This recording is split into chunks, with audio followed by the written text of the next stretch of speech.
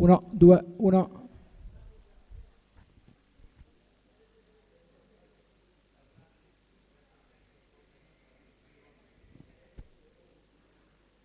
Ciao Luciano. Quasi.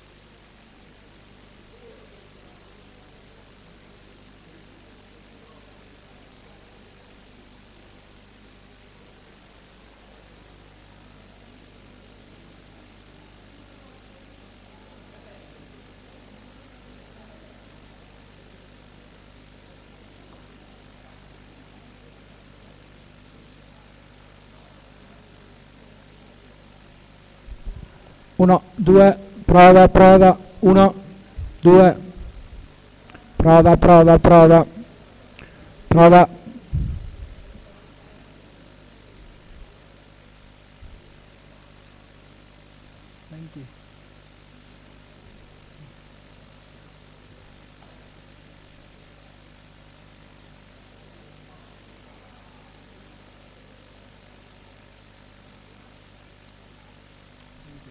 Prova, prova, 1, 2, 1, 2, prova, prova, prova, 1, 2, 1, 1, 2, 1, 1, 2.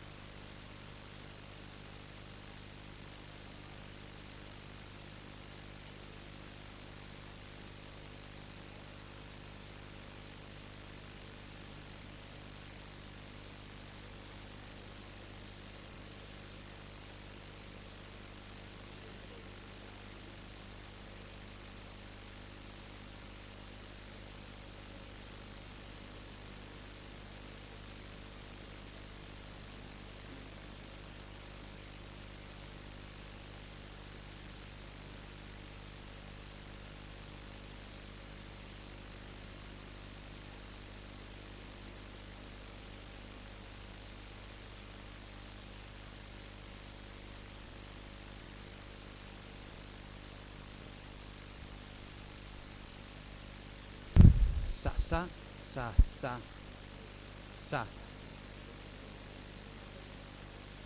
Si pripi pras, za, sa.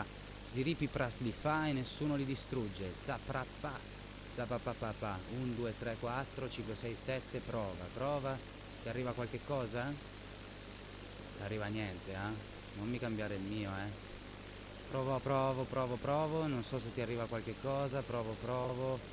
Zipi pras,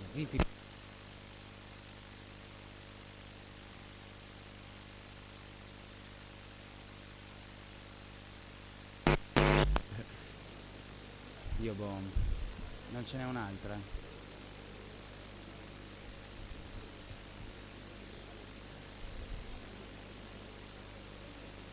Non so che dirvi, non so che dirvi. Sto cazzo di paese, fottuto. Non ci credo che non c'è un'altra uscita.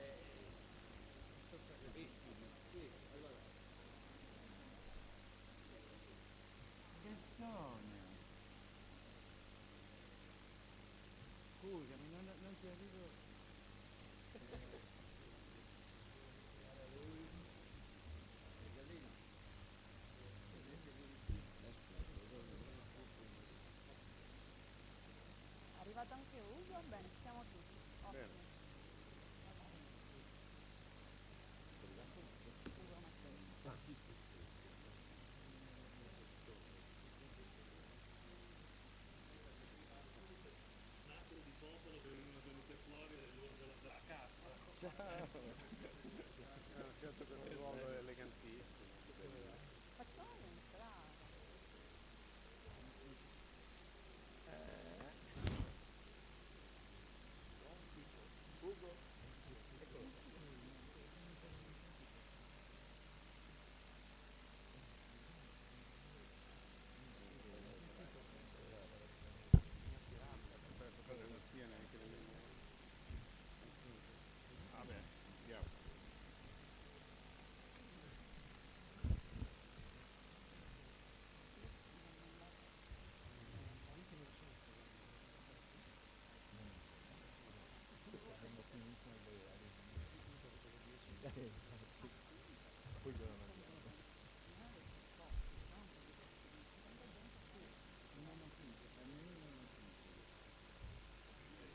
Bene, allora incominciamo questo incontro. Eh, buonasera eh, a voi che siete in sala e siete tanti. Purtroppo altri sono rimasti fuori e spero che qualcuno possa ancora entrare. E buonasera anche a quelli che sono eh, collegati in streaming per seguire questo nostro incontro. Per Torino è il primo eh, significativo incontro eh, della campagna elettorale della lista eh, L'Alta Europa con Tsipras. Eh, pochissime, pochissime parole, non, non voglio portare via eh, tempo. Intanto per una informazione. Voi sapete che eh, avevamo un compito pre preliminare eh, che era considerato da quasi tutti improbo. dovevamo raccogliere 150.000 firme per presentarci, eh, onere che non ricadeva sugli altri concorrenti autocertificati perché già presenti in Parlamento italiano o europeo, 150.000 firme, 30.000 in ognuna delle cinque circoscrizioni, almeno 3.000 in ogni regione, compresa la Valle d'Aosta, che ha 128.000 abitanti e circa 100.000 iscritti alle liste elettorali. Una legge illegittima, eh, Gustavo Zagrebeschi ha eh, con, con finissima dottrina documentato l'illegittimità costituzionale di una norma di questo tipo, eh, molti sogghignavano pensando che non ce l'avremmo fatta, e beh, posso dire che domani verranno consegnate nelle cinque circoscrizioni eh, gli scatoloni contenenti le firme, non solo abbiamo superato le 150.000 firme, ne abbiamo raccolte quasi il doppio, quasi il doppio. Abbiamo sicuramente superato le 250.000 le 250.000 firme in Valle d'Aosta dove ci sembrava terribile quel scalare quella parete di sesto grado superiore, quelle 3.000 eh, firme, siamo mm, arrivati quasi a 4.000 e ci siamo fermati perché ci siamo arrivati con una settimana d'anticipo rispetto alla scadenza. Eh, in Molise, in Basilicata abbiamo ampiamente superato eh, l'asticella che c'era stata, che stata eh, imposta. Eh, direi che questo è un, è un buon augurio, è un buon inizio Così come un buon augurio e un buon inizio è eh, la quantità di, di, di, amici, di compagni che sono, che sono eh, qui, nonostante eh, questo incontro sia stato eh, preparato alla velocità della luce, in, in tre giorni, con un'informazione molto, molto scarsa e molto, e molto limitata. Eh, questo incontro è dedicato al tema Europa, democrazia, Costituzione.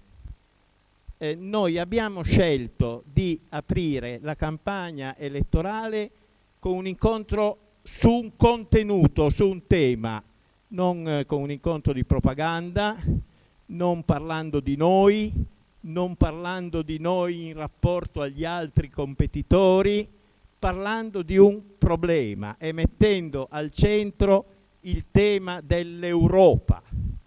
Io ho voluto seguirmi la, tutto lo streaming dell'apertura che il segretario del Partito Democratico ha fatto al Pala Isozaki, tutti i 35 minuti, eh, ha parlato di molte cose, ha parlato molto, ha parlato di Maradona, di Fantozzi, di Frankenstein Junior, eh, ha parlato molto di Chiampa, eh, l'ha chiamato così, molto poco del Piemonte, quasi niente dell'Europa, un paio di eh, frasette.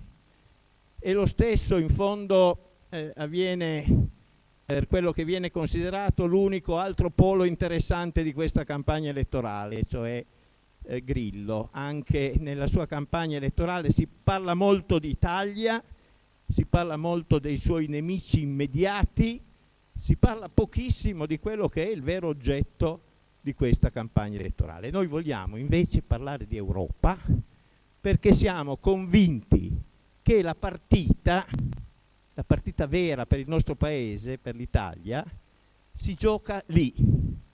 È in Europa che si decide se questo paese sta su o cade. Perché o si cambiano le politiche europee, o si cambiano drasticamente gli attuali equilibri al vertice dell'Europa, o questo paese non ce la fa. Possono raccontarci tutto quello che vogliono, possono fare i giochi di prestigio che vogliono, possono usare le retoriche che vogliono, possono raccontarci che il PIL crescerà del 2%, del 3%, che otterremo di ridurre di 0,1-0,2 punti la possibilità del deficit e così via. Ma se non cambia radicalmente l'equilibrio in Europa, al governo potrebbe andarci anche Gesù Cristo.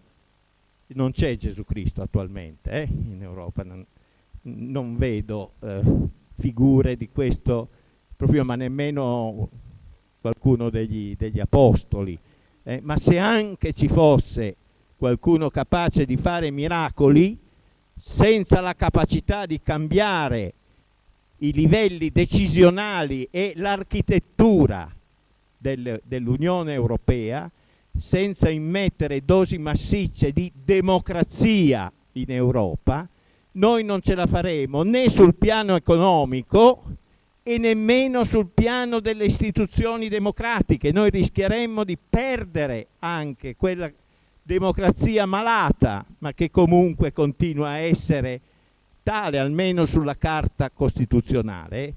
L'attuale Europa è destinata a imporre riduzioni della nostra democrazia se non riusciamo a cambiare quegli equilibri. Ecco perché noi ritenevamo che Sarebbe stata una catastrofe se in queste elezioni europee si fossero confrontati solo due campi, quello degli eurodistruttori e quello degli eurocompiaciuti, quello di coloro che vogliono distruggere, non cambiare, distruggere l'Unione Europea per ritornare alle piccole patrie alle nazioni, ai nazionalismi, alle, alle monete nazionali e coloro che non vogliono cambiare niente o che vogliono cambiare poco, che vanno a Berlino o a Francoforte o a Strasburgo o a Bruxelles col cappello in mano dicendo che hanno fatto, che faranno i compiti a casa e chiedendo in cambio qualche briciola. Ecco, se il campo fosse ridotto a questi due poli, noi crediamo che queste elezioni sarebbero elezioni perdute, perdute per tutti. Se tra questi due poli, tra gli eurodistruttori e gli eurocompiaciuti o, eurocompiacenti o eurocomplici, non ci fosse un'area consistente di eurocritici, quali noi siamo, critici radicali dell'attuale Europa. Per questo crediamo che sia importante che eh, questa lista riesca a far sentire la propria voce è difficilissimo e ne avete avuto la, la misura anche in questi giorni, è un po' una lotta di eh, Davide contro Golia, la nostra, e tuttavia è fondamentale che noi riusciamo a far sentire la nostra voce. E noi riusciremo a far sentire la nostra voce se eh, la campagna elettorale di questa lista camminerà nei territori, camminerà sulle vostre gambe, camminerà sul, sull'azione e sull'iniziativa di una miriade di gruppi, eh, di associazioni, di individui, di persone che si attivino. Non possiamo fare una campagna convenzionale dall'alto, non possiamo fare una campagna televisiva perché la televisione è contrapposta a noi, dobbiamo fare una campagna popolare eh, con eh, il vostro contributo fondamentale. Per questo quello di oggi è un primo, è un primo appuntamento, altri eh, ne seguiranno. Eh, sono presenti qui tra noi anche alcuni candidati della nostra lista, non tutti, altri sono impegnati nei territori. È presente Gigi Richetto della eh, Valle di Susa, è presente Ollino di, eh, di Asti, è presente il nostro eh, straordinario candidato della Val d'Aosta, che è, è qui presente in, in, in, prima fila, che è stato fondamentale nel lavoro di raccolta eh, delle firme e speriamo mh, di riuscire a dare eh, anche a loro eh, la parola eh, nel, nel, nell'ora e mezza che abbiamo di fronte. Io passo subito la, la palla, direi Alessandra Quarta che coordinerà eh, questo incontro e vi ringrazio davvero di cuore della vostra partecipazione e di quello che farete pro nelle prossime settimane. Grazie.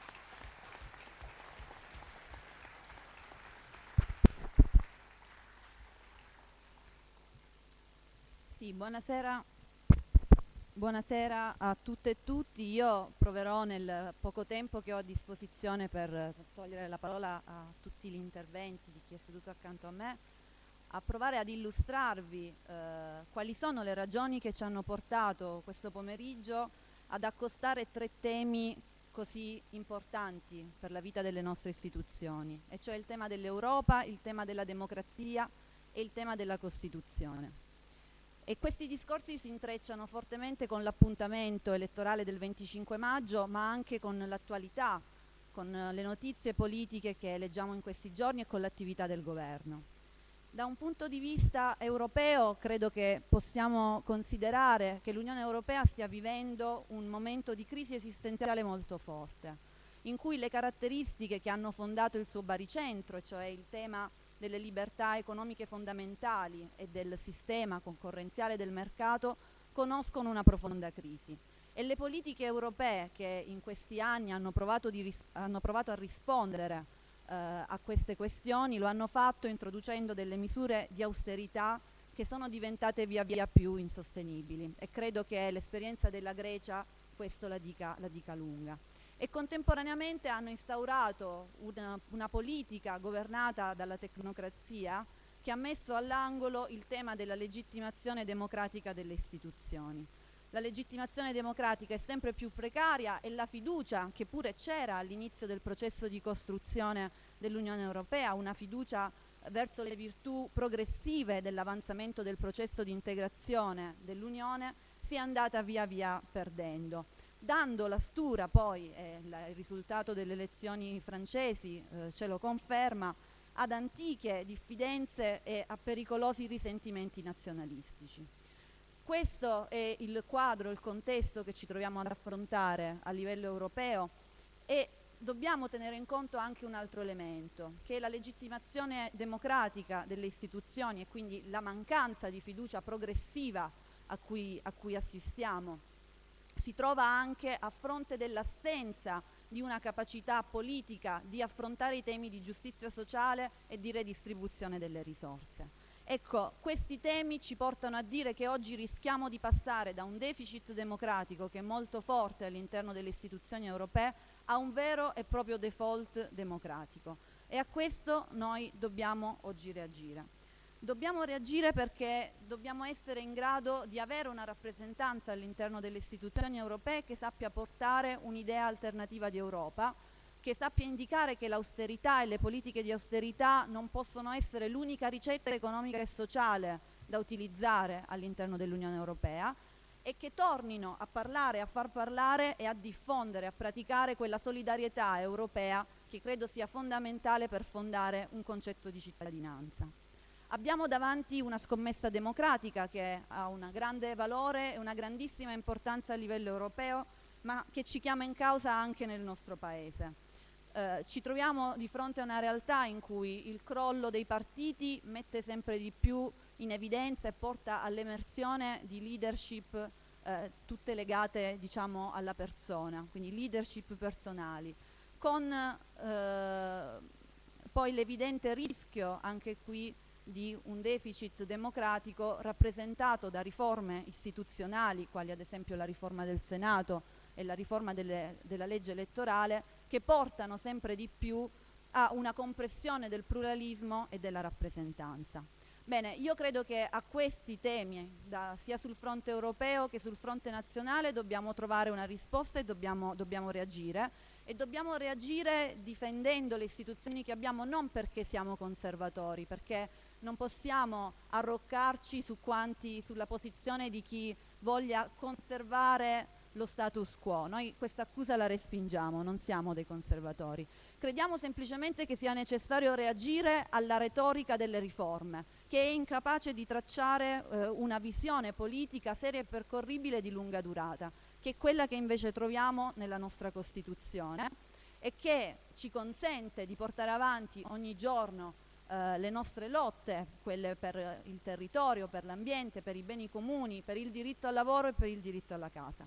Bene, io credo che abbiamo davanti a noi una scommessa democratica eh, molto importante, significativa, che dobbiamo necessariamente giocare e giocare per vincere. Il senso di questa iniziativa è questo, tenere insieme il tema della democrazia in chiave europea e in chiave italiana, difendendo la Costituzione per attuarla. Da qui partiamo e per questo Abbiamo eh, con noi per discutere di questi temi eh, il professor Gustavo Zagrebeschi, che credo non abbia bisogno di ulteriori presentazioni, a cui chiederei il primo contributo del pomeriggio. Grazie mille.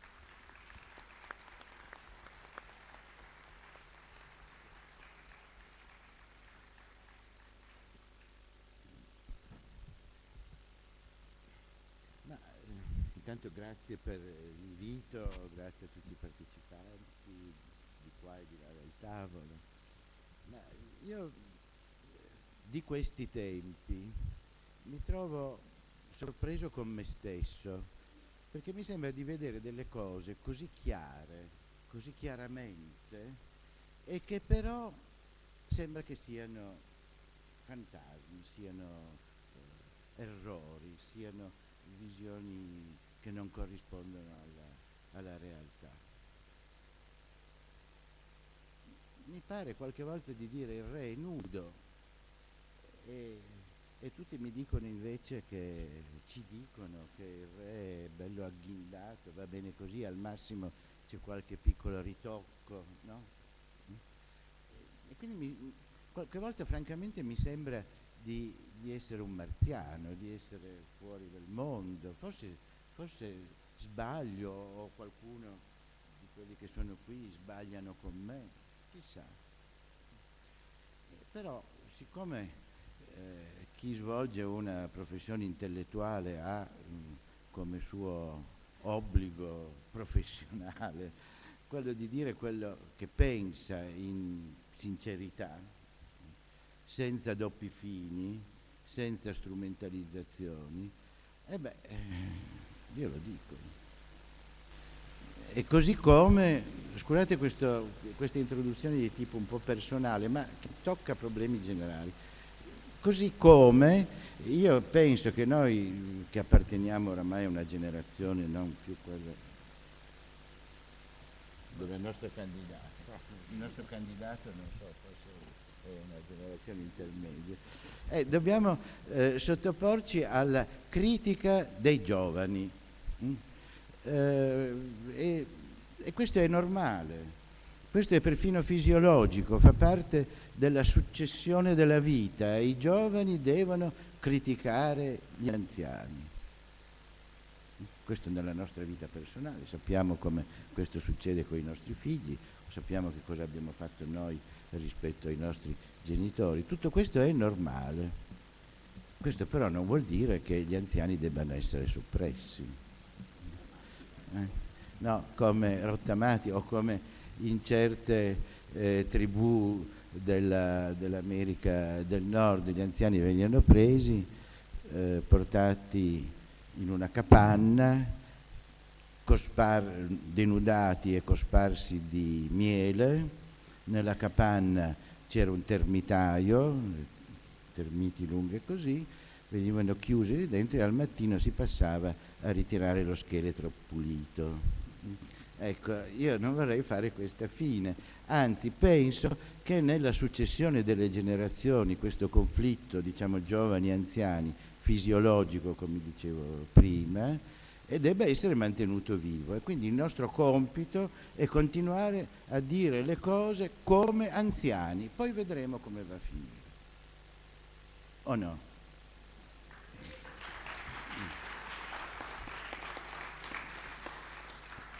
E adesso venendo al, al, tema specifico, cercando di dire nel modo più chiaro e sintetico quello che eh, ho pensato, le riflessioni che ho pensato di, di proporvi, vorrei partire da, dall'idea fondativa dell'Europa, che trova molti testi classici. In Italia abbiamo il manifesto di Ventotene di Altiero Spinelli ma in quegli anni sono stati elaborati diversi altri progetti in Italia e in Europa. Uno per esempio è stato elaborato da Duccio Galimberti a, a Cuneo, insieme a, a Antonino Repaci, che sarà ripubblicato recentemente. Ora, eh, questi documenti italiani ed europei, sono stati numerosissimi, avevano tutti al centro l'idea che fosse terminata l'epoca dello Stato nazionale. Potrei, anzi, è necessario precisare, secondo questi progetti era finita l'epoca dello Stato, degli Stati, stati che si conoscevano allora erano gli stati nazionali. Eh, si imputava la grande tragedia della seconda guerra mondiale alla natura stessa degli stati. Gli stati che incorporavano potere ed economia, questa forza eh, in cui una cosa alimenta l'altra, non poteva, secondo questa analisi, che portare alla tragedia, allo scontro, allo scontro tra queste potenze, posto che eh, sia l'economia sia il potere sono forze diciamo distruttive di convivenza. Perché l'accumulo di potere crea prepotenza e impotenza nelle relazioni interindividuali ma anche nelle relazioni tra gli stati e l'accumulo di economia, cioè cos'è l'oggetto dell'economia? Il denaro, la ricchezza. L'accumulo di denaro e di ricchezza produce che cosa? Ricchi e poveri. Cioè sono due forze che lasciate a sé hanno effetti distruttivi di convivenza e la guerra tanto più la guerra mondiale è la riprova più evidente di questo effetto esplosivo rispetto alla, alla pacifica eh, convivenza tra gli esseri umani. E quindi eh, ritornando a quei progetti, forse di questi tempi sarebbe buona cosa riprenderli in mano, anche per stabilire la distanza, cioè quali erano le idee fondative e come siamo andati a finire. Ecco. Punto fondamentale è che si trattasse di superare, come dicevo, non gli stati nazionali, ma stesso, la stessa idea di Stato e di eh, fondere la, la vita politica, economica, culturale dei popoli dell'Europa in una forma di unità diversa da quella statale.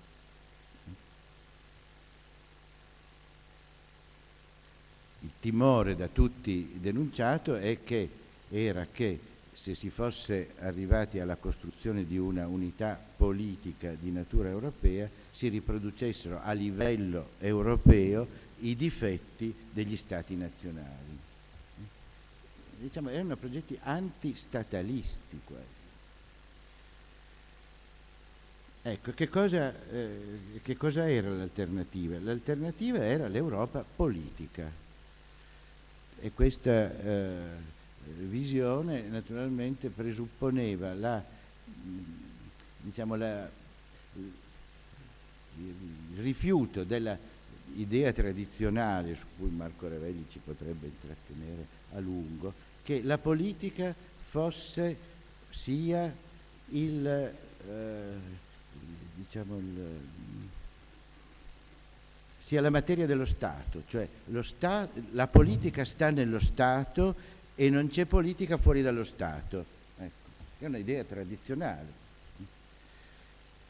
Quindi era un grande progetto, diciamo, rivoluzionario anche dal punto di vista delle categorie eh, concettuali e anche del nostro modo di vivere, di stabilire i rapporti tra di noi. Una concezione politica, quindi non una concezione economico-statalista. E la costruzione dell'Europa, come voi eh, sapete, è iniziata attraverso una, diciamo, procedendo per una strada che eh, eh, diciamo, aveva come punto di partenza l'economia. Unifichiamo l'economia europea e da lì si eh, svilupperà necessariamente una, la dimensione politica.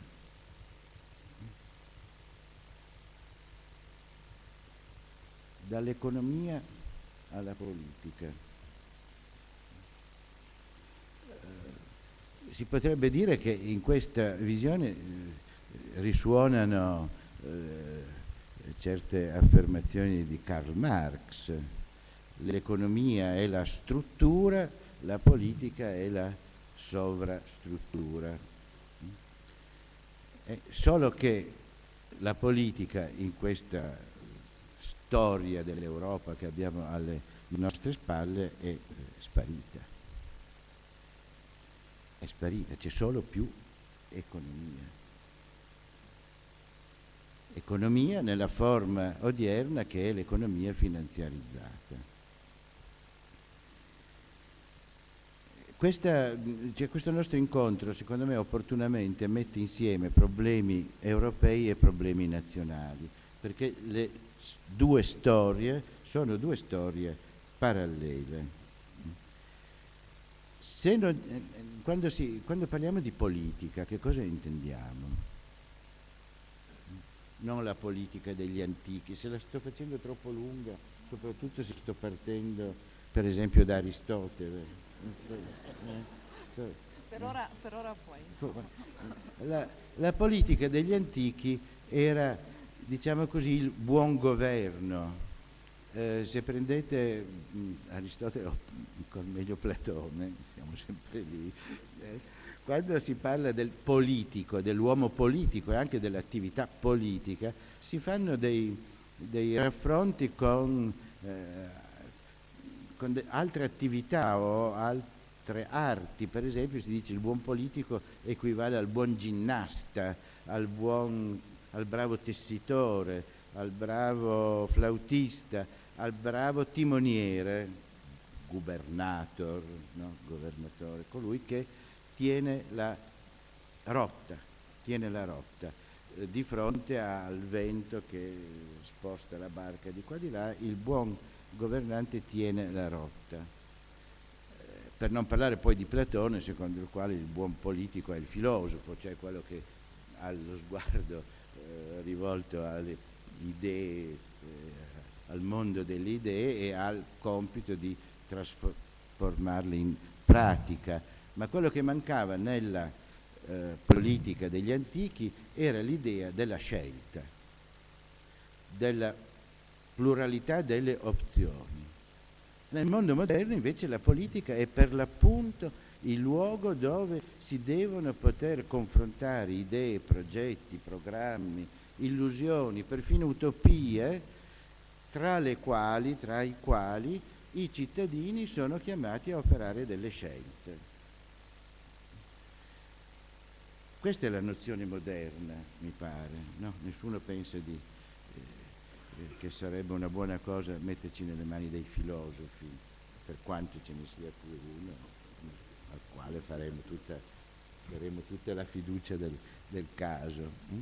No, la, la politica è confronto, è conflitto tra idee e programmi e naturalmente la democrazia è il regime politico in cui i cittadini sono chiamati a scegliere, a militare e preferire un'opzione rispetto all'altra. Questo è diciamo, quello che a me pare evidente, dicevo prima, come il bambino innocente che dice il re è nudo. Se non c'è o non c'è più la possibilità di operare scelte, quindi non c'è più politica, non c'è nemmeno più ragione d'essere della democrazia. Perché se aboliamo la politica avremo sempre e semplicemente tecnica, tecnica esecutiva. E questa è una eh, deriva che riguarda il nostro paese, riguarda i paesi come, come il nostro, riguarda l'Europa che si è ampiamente burocratizzata, luoghi dove la politica sta restringendosi, sta sparendo, la politica di cui parlavo prima, e tutto sembra che sia eh, legato alla esigenza dei, diciamo, della efficienza finanziaria. Cosa vuol dire poi efficienza finanziaria?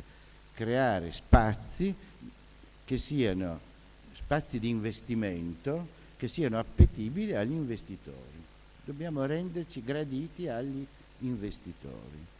E per far questo siamo, dobbiamo essere disposti a rinunciare a elementi fondamentali della nostra tradizione costitu- politico-costituzionale, come lo Stato sociale che si sta rimpicciolendo, come i diritti nel mondo del lavoro che si stanno sfaldando.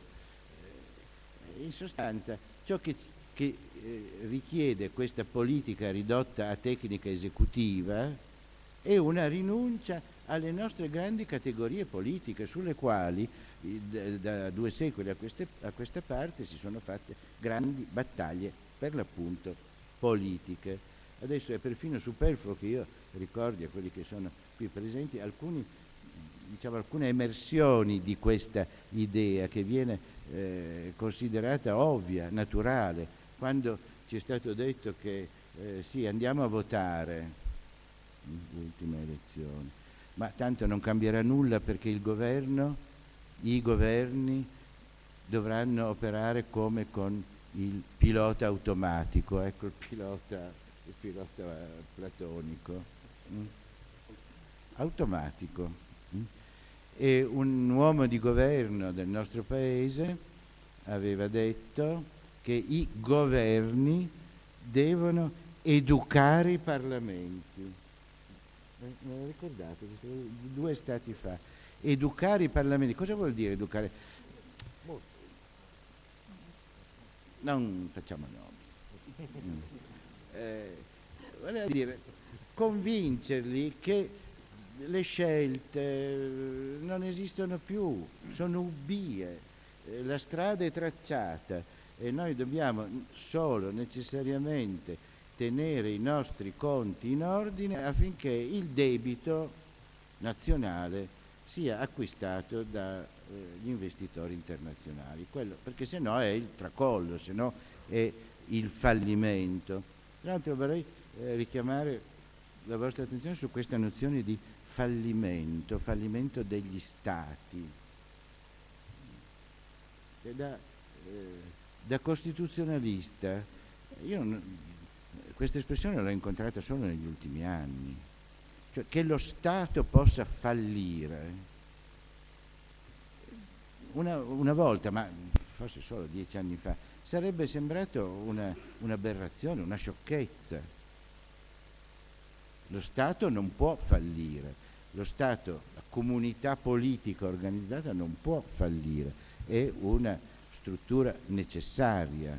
Quando noi diciamo che lo Stato può fallire, abbiamo applicato a questa nozione politica una nozione del diritto commerciale, lo Stato come impresa commerciale.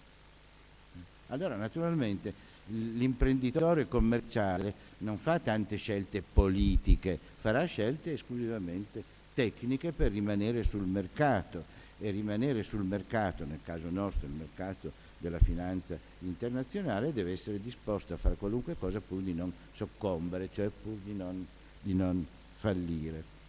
E queste sono espressioni, no? il pilota automatico, bisogna convincere, bisogna educare, ma poi se guardiamo la, la vita politica come si è eh, evoluta nel nostro paese, eh, mi sembra abbastanza evidente che le formule politiche, cioè i, governi delle grandi intese, i governi che vogliono mettere d'accordo tutti quanti, sono governi essenzialmente antipolitici, perché se, la politica è scelta, la politica è conflitto. Speriamo che non sia un conflitto distruttivo, ma è un, diciamo almeno un confronto tra progetti e eh, innovazioni, ma non c'è nulla di più conservativo, conservatore, che non l'accordo generale tra tutti, che si fa poi per tenere fuori una parte, naturalmente, che si considera non, non idonea a sedere al tavolo delle persone per bene. Mm? E questa è la logica delle, eh, delle grandi intese, che produce i governi tecnici per l'appunto. E se noi ci riflettiamo, non c'è nulla di più conservatore che non la tecnica. Quando noi chiamiamo a casa nostra un tecnico per ripararci il televisore, per esempio, scusate l'esempio banale, non ci aspettiamo che quando se ne va via il nostro televisore sia un altro televisore, ci aspettiamo che sia lo stesso riparato e lo stesso vale per l'idraulico, per l'elettricista, cioè il tecnico pone delle pezze, eh, corregge dei difetti, ma sempre per mantenere ciò che c'è. Questo è un elemento fondamentale e anche le cosiddette politiche che vengono proposte di questi tempi, mh? 80 euro di sgravi al, sul, sull'IRPEF negli stipendi sono cose naturalmente che noi non dobbiamo disprezzare perché per chi ne ha bisogno eh, questo ed altro potremmo dire ma certamente sono delle pezze servono per mantenere l'ordine nello status quo mm? quando un nostro primo ministro anche qui non facciamo nomi, eh, qualche tempo fa ha detto in autunno ci troveremo di fronte a gravi problemi di malessere sociale. Mm? Eh, cosa vuol dire gravi problemi in quella logica? Dobbiamo fare qualche cosa per contenere, per contenere il malessere. E allora qualche provvedimento a favore di chi eh, sta peggio, qualche provvedimento a favore delle imprese mm, affinché non, non succedano queste cose terribili che oggi non fanno nemmeno più notizia, cioè i suicidi per ragioni economiche, di, di, di condizioni economiche, tra i lavoratori, tra i piccoli imprenditori, tra i medi imprenditori. Sono tutti, chiamiamo politica il rattoppo questo è un altro segno del degrado. Del... E naturalmente qui, eh, per, eh, e questa sarebbe solo l'introduzione. Mm. Eh, ma, eh, due, eh, due, parole. Eh, perché la, la lista Tsipras, che noi tutti ci auguriamo che possa avere un gran successo, ma sarebbe anche un gran successo se una piccolissima pattuglia entrasse al Parlamento europeo per l'appunto per portare idee politiche, cioè eh, smuovere lo stagno, eh, proporre alternative alla non politica della, eh, dell'Europa finanziaria in sostanza, introducendo poi elementi di giustizia tra i paesi, eccetera. Di questo parleranno, parlerà ha già parlato la nostra candidata e parlerà anche Culzio Maltese e forse anche Ugo, non lo so, non ne parlerò io. Ecco, eh, per venire al, al, al tema istituzionale del, del, nostro paese, ecco, quello che impressiona non, non sono tanto le proposte puntuali, la, l'abolizione del Senato, la trasformazione del Senato in una Camera rappresentativa di, di che? Vi chiedo.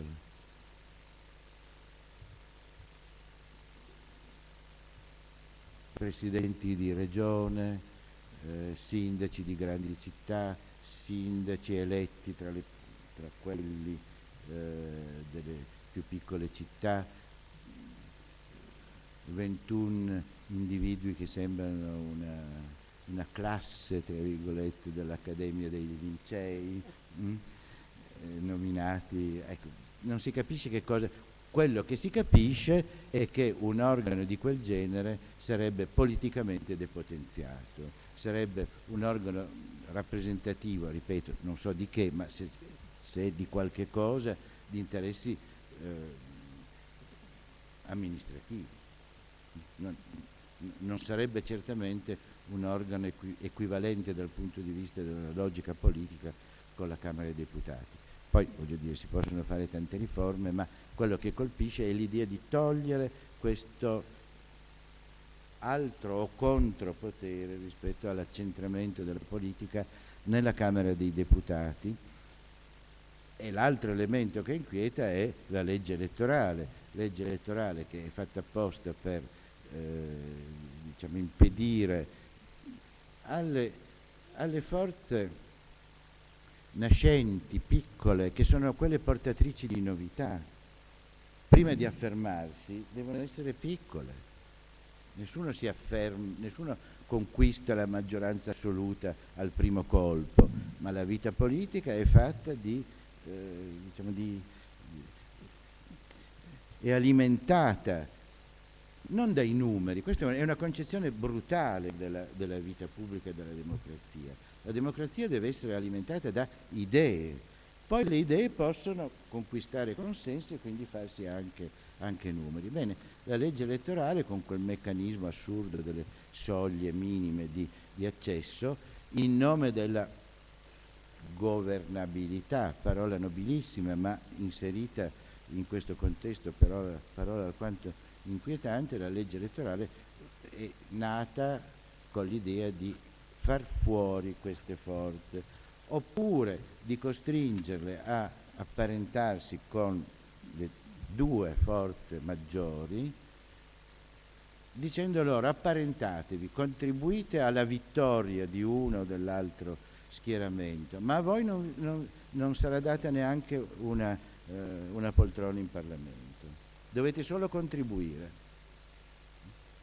I seggi saranno attribuiti solo al più forte della coalizione. Mi sembra una cosa ragionevole, perché mai un piccolo raggruppamento dovrebbe portare acqua? Ma eh, se lo fa è perché riceverà in cambio qualche promessa diciamo, di sottogoverno, di subpolitica, di cose non dichiarate. E poi questa legge elettorale è fatta in maniera tale che ci sarà un confronto tra le due forze maggiori e, la, e le loro eh, coalizioni e chi vince prende una, con un sistema, adesso non entriamo nel dettaglio, o a primo turno o a doppio turno, prende la maggioranza alla Camera che sarà l'unico organo politico e dalla Camera governerà il Paese. esprimendo il proprio eh, capo del governo, il proprio governo, anzi ho detto esprimendo il proprio capo del governo, sarà al contrario, perché nella condizione italiana, qui i miei colleghi costituzionalisti dicono ma qui ma guardiamo la Germania, guardiamo l'Inghilterra, guardiamo la Spagna, sembra che le riforme costituzionali si facciano come eh, uno che entra nel supermercato e prende una scatola di qua, una scatola di là, prodotto in, in Spagna, prodotto a Hong Kong, le istituzioni di Hong Kong. Vabbè, eh, si facciano così, ma la realtà è che noi abbiamo dei partiti politici, lo si diceva prima, che non esistono più come partiti, sono semplicemente il prolungamento del leader, del capo.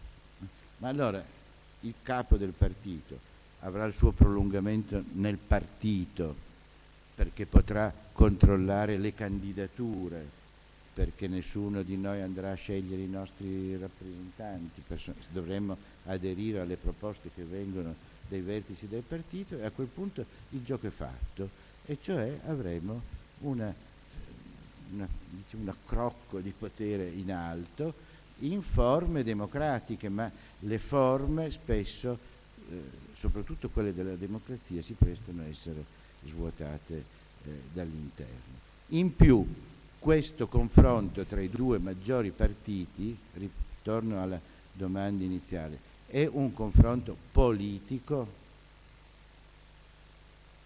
cioè tra concezioni, tra visioni. A me pare che nella situazione italiana sia o sarà semplicemente un confronto tra, diciamo, tra, tra gruppi di potere che naturalmente hanno delle differenze tra di loro, ma sostanzialmente stanno nello stesso alveo. E di fatti i due maggiori partiti al momento collaborano tranquillamente al governo non avere idee politiche, ma avendo, eh, essendo uniti dall'idea della, della conservazione di ciò che c'è. Poi ci dicono che noi siamo conservatori perché non vogliamo la riforma del Senato, non, così come è stata prevista, non vogliamo la riforma della legge elettorale. E va bene, siamo conservatori.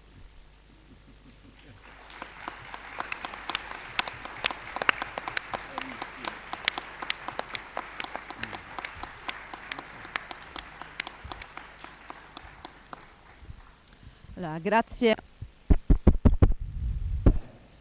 Scusate.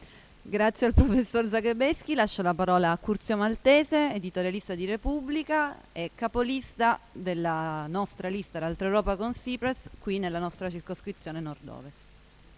Grazie, buonasera.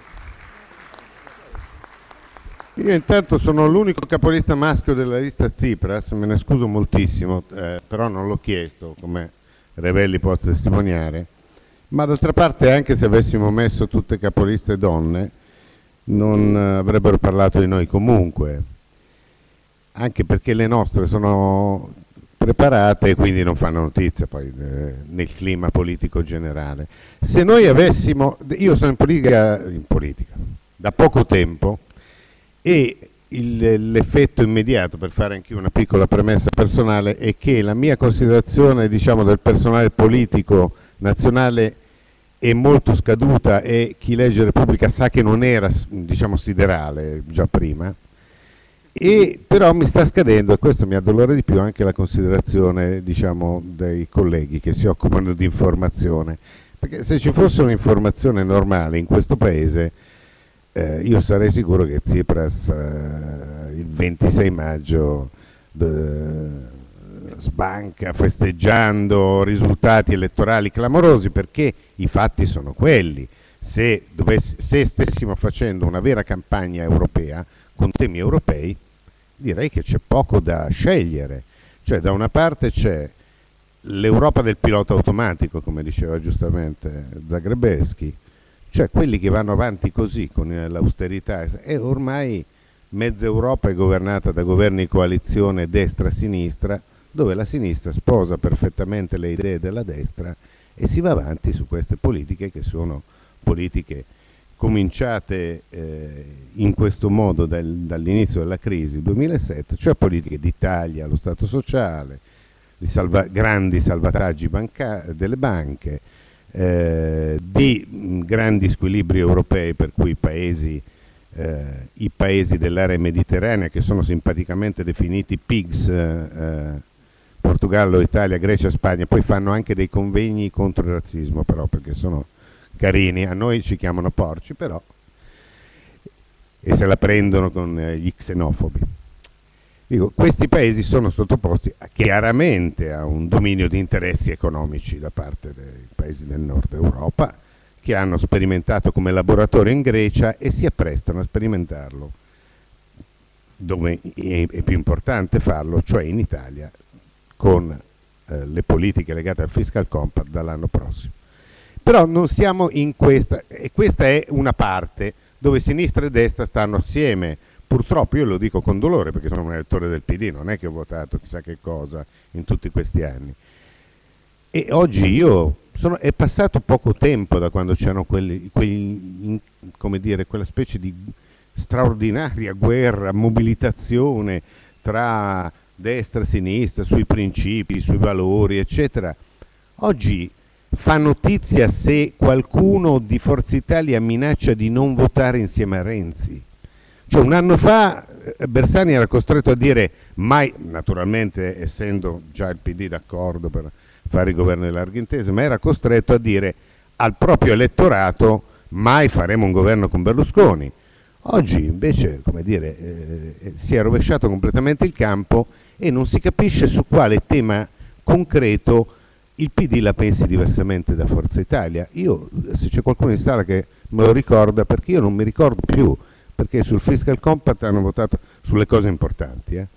Fiscal Compact hanno votato assieme, eh, i vincoli europei, l'austerità hanno votato assieme, sui tagli e sulle privatizzazioni sono d'accordo, su, sulle riforme istituzionali sono d'accordo. Io peraltro questa riforma del Senato. Io sono contro il bicameralismo perfetto per la, la, l'abbattimento dei costi della politica che si potrebbero ottenere in maniera molto più semplice perché è molto disonesto mischiare il discorso dell'abbattimento dei costi della politica con il Senato perché se tu oggi chiedi alla gente eh, come dire, anche, ti dicono anche abolita, già che ci siamo, anche la, la Camera, il Quirinale, cosa secondo me da valutare perché il Quirinale diciamo, costa un sacco di soldi ed è una sottrazione di un bene artistico che potrebbe essere per il turismo molto...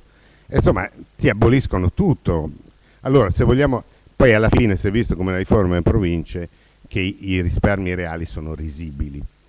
Se noi vogliamo, bisognerebbe separare questi due campi, se noi vogliamo fare un taglio al costo della politica serio, visibile, che non, si possono dimezzare gli stipendi dei parlamentari, e dei consiglieri regionali che sono scandalosamente alti rispetto alla media europea, dimezzare nel complesso non solo gli stipendi, la massa di privilegi e questo sarebbe un segnale concreto, invece di cominciare dai super manager cominciassero da, da loro. Quello è un segnale concreto e che, eh, di, di volontà di ridurre i costi della politica, ma mischiare la riduzione dei costi della politica, e tra l'altro è una cosa che si può fare una settimana senza bisogno di nessuna legge eh, costituzionale o di riscrivere 40 articoli della Costituzione. Quello è, è, una cosa che invece non fanno, e però promettono che faranno dei grandi tagli ai costi della politica, infilando nel pacchetto però cose che servono ad altri scopi. In particolare questa riforma del Senato è identica a quella che proponeva Berlusconi. Oggi l'atteggiamento di molti giornali e, e di molta parte del, delle, dei media è cambiato nei confronti di queste proposte perché le propone Renzi. Lo scenario anche è che i giornali prospettano e che intanto se una cosa la fa la sinistra non si capisce anche se è la stessa cosa, però è meglio che se la fa la destra. Poi loro pensano che la, questa, diciamo, questa mh, cosa destina, sia destinata a durare a lungo, ormai c'è un coro dei giornali, dei, dei media e pensano che sia cominciata un'era che dura vent'anni, tutti i giornali e tutti le televisioni sostengono Berlusconi ormai è finito, la destra è finita, Renzi durerà 50 anni. Io per carità faccio giornalista tanti anni e so che quando la maggioranza dei media dice una cosa si realizza sempre, ci azzeccano sempre, è sempre successo fino adesso.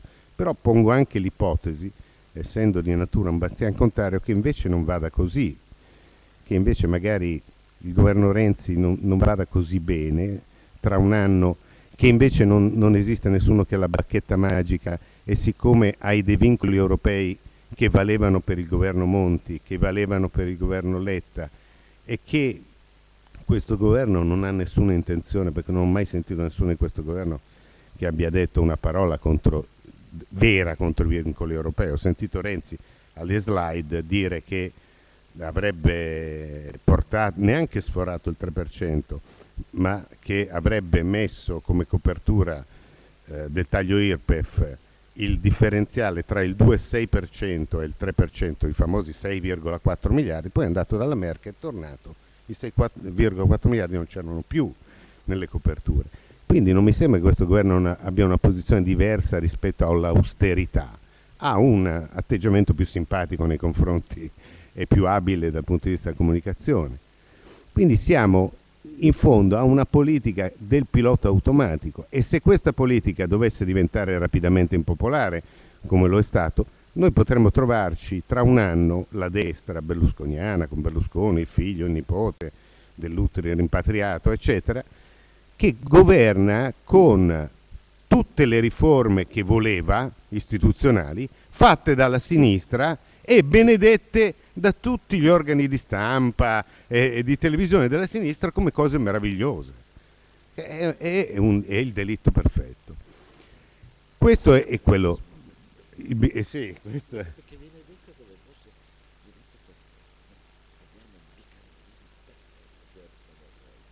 Sì. Allora, voglio dire, le, le, stagioni poi e le mode in Italia passano rapidamente, bisogna stare attenti e ci sono le cose che durano. Eh, le cose che durano sono ah, le cose concrete, cioè il fatto che noi siamo eh, immersi ormai in una concezione dell'Europa che è quella che è stata descritta, un'Europa che serve a difendere gli interessi già forti, che è dominata mo- molto dalla finanza, che ha speso cifre colossali negli ultimi anni principalmente per salvare i sistemi bancari che sono all'origine di questa crisi e che ha fatto ricadere i costi della speculazione finanziaria sulle spalle dei cittadini dicendo che è colpa loro se il debito pubblico cresce. Idea completamente come un'ideologia perfettamente liberista che è stata purtroppo, ripeto con dolore, sposata anche dalle sinistre europee che negli altri paesi hanno pagato prezzi enormi per questo la sinistra greca, che è il glorioso PASOK che si è opposto ai colonnelli, è passata in pochissimi anni dal 40% al 12%. Da, da qui il trionfo di Siriza e di Tsipras. In, eh, in Germania i, i, governi di grande coalizione hanno portato i socialdemocratici tedeschi dal 40% al 25%. Qui in Italia an- ancora, eh, io spero anche che non accada, ma ancora non è accaduto perché, come dire, stiamo parlando d'altro, ma quando si tratterà di fare cose concrete temo che questo sia anche l'effetto sul quadro politico italiano. Dall'altra parte c'è semplicemente, eh, l'anti-euro, cioè l'anti-europeo, usciamo dall'Europa, usciamo dall'euro, torniamo agli stati nazionali, torniamo alla lira, in qualche caso anche allo scudo, al baiocco, allo zecchino, perché poi può darsi anche che torniamo al Ducato di Parma e Guastalla, cioè ci sono, compaiono ormai soluzioni bizzarre ed è uno schieramento che è piuttosto composito e del quale fa parte in Italia una serie di partiti tra i quali Grillo. Grillo, anche lui, se si parlasse in concreto, Grillo ha rifiutato, come dire, la, la proposta, Grillo non ha apparentamenti in Europa, non appartiene, Tsipras appartiene a una sinistra che ormai incarna diciamo, i valori tradizionali della sinistra socialista europea, visto che la sinistra socialista europea ha sposato il liberismo, noi siamo rimasti quella, al fatto che per noi è molto più importante creare posti di lavoro che salvare banche, che dovrebbe essere un concetto piuttosto diffuso per chi è di sinistra. Ma, E dall'altra parte c'è questo fronte anti-europeista, anti-euro, dove le posizioni sono identiche. La Le Pen ha chiesto un'alleanza con Grillo, eh, che come sapete non trova alleati in Europa, è un fenomeno molto italiano, molto efficace in Italia tra l'altro, è molto anche originale secondo me nell'analizzare il quadro politico italiano. Grillo è molto meno efficace e molto meno originale in Europa dove ha sposato que questa, questa, cosa che normalmente è delle destre nazionaliste nel resto d'Europa. Eh, il Fronte Nazionale ha chiesto a Grillo un'alleanza, Grillo ha rifiutato, la Le Pen giustamente si è offesa dicendo ce l'avrà con me. E ha ragione perché siccome i programmi sono uguali si sarà domandata forse sto antipatica io a Grillo? Non c'è un'altra ragione concreta nel senso che se tu non sei d'accordo su ma siccome loro sono d'accordo con la Lega del resto infatti poi Grillo giustamente va in Veneto e fa l'elogio dei secessionisti perché non c'è neanche una differenza in concreto quindi la nostra posizione è l'unica originale, non solo in Italia ma in tutta Europa, rispetto agli altri. Noi non vogliamo quella politica, la continuazione, il pilota automatico, ma non vogliamo neanche sfasciare tutto, vogliamo andare al governo con eh, le sinistre, eh, vogliamo non dividere la sinistra, come dico ogni tanto, ma dividere la sinistra dalla destra e andare al governo in Europa e presentare un modello diverso di Europa politica, solidale, l'Europa che si preoccupa appunto di creare posti di lavoro e non di salvare le banche, l'Europa degli Eurobond dove il debito pubblico è un debito pubblico di un, non è che negli Stati Uniti il debito pubblico dell'Alabama è un problema dell'Alabama che sarebbe fallito da tempo, è un debito pubblico di un, un'unione che sia un'unione politica, solidale e che difenda una, l'unica possibilità che abbiamo noi di rendere, come dire, io non credo che ci si possa opporre alla globalizzazione, ci, si può umanizzare il processo di globalizzazione, è l'unico modello per umanizzare il processo di globalizzazione è il modello dell'Euro, dell'Europa dei padri, di, quello, di Eterostinelli, dell'Europa dello Stato sociale, della protezione dei cittadini, della giustizia sociale, che capisco non sia più un argomento di moda, ma per me eh, eh, lo è e, lo è per molti milioni di, di cittadini, credo che, eh, che, se lo pongono tutti i giorni e tutti i mesi. Questo ci renderebbe fortissimi sul piano dell'offerta politica, come dicono gli spin doctors. Il problema è che non si sta parlando di questo, si sta, si sta facendo un teatrino dove si parla di cose irrilevanti cioè in Italia siamo riusciti a approvare il fiscal compact di cui ci sono state furibonde discussioni in altri paesi, in, eh, in qualcuno anche il referendum, noi siamo riusciti a approvarlo e il giorno dopo non si parlava già più di quello, si parlava ancora degli effetti della riforma Gelmini, perché poi sono bravissimi a parlare di stupidaggini. Voi vi ricordate la riforma Gelmini, quella cosa bellissima, col grembiulino, il voto al posto del giudizio, la maestra che deve essere unica perché ci si affeziona. Quella riforma ha distrutto la nostra scuola elementare, che era l'unica che ancora funzionava, mh, fatto, eh, mandato a casa decine di migliaia di persone che lavoravano e, eh, e ci renderà un paese ancora più, meno competitivo sul piano della cultura, della preparazione individuale di quanto già non siamo. E così si parla di stupidaggini. Noi siamo rassegnati e il nostro sforzo è quello di riportare i temi importanti, perché eh, siamo avviati a discutere per un altro mese di sciocchezze tipo cambiare il nome delle province, che non fa risparmiare nulla, oppure c'è la trovata di quello che candida tutte le... e l'altro che gli risponde, quello che fa il fotomontaggio di Auschwitz, e tu, cose peraltro di pessimo livello, ma che sono comunque, hanno un denominatore comune, sono idiozie, non serve a niente, non stiamo discutendo di nulla di concreto, di nulla di importante per le nostre vite.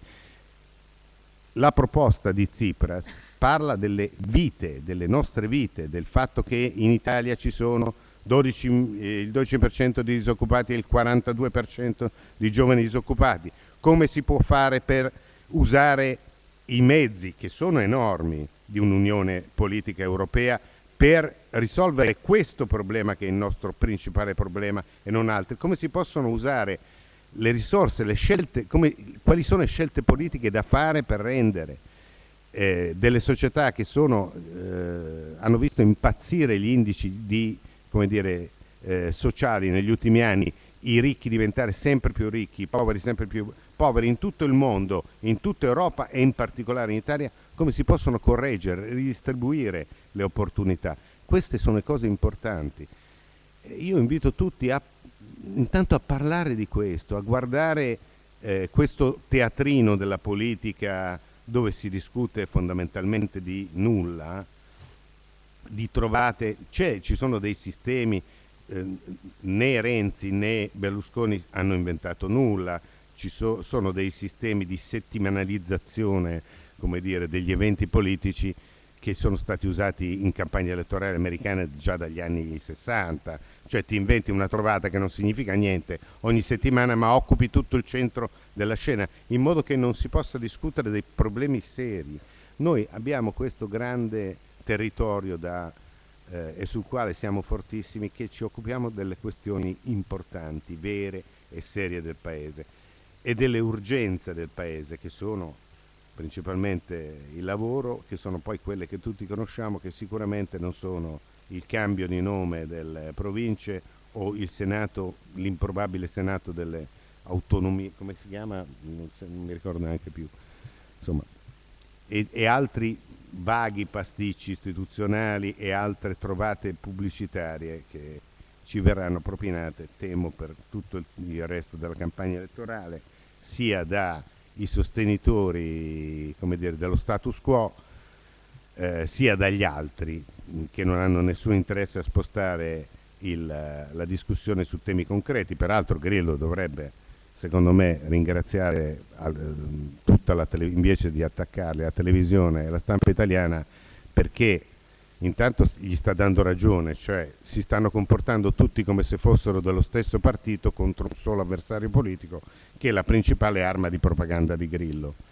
Secondo perché in questo modo ovviamente lo stanno favorendo, vista anche la considerazione generale che in questo Paese abbiamo noi giornalisti. Vi ringrazio.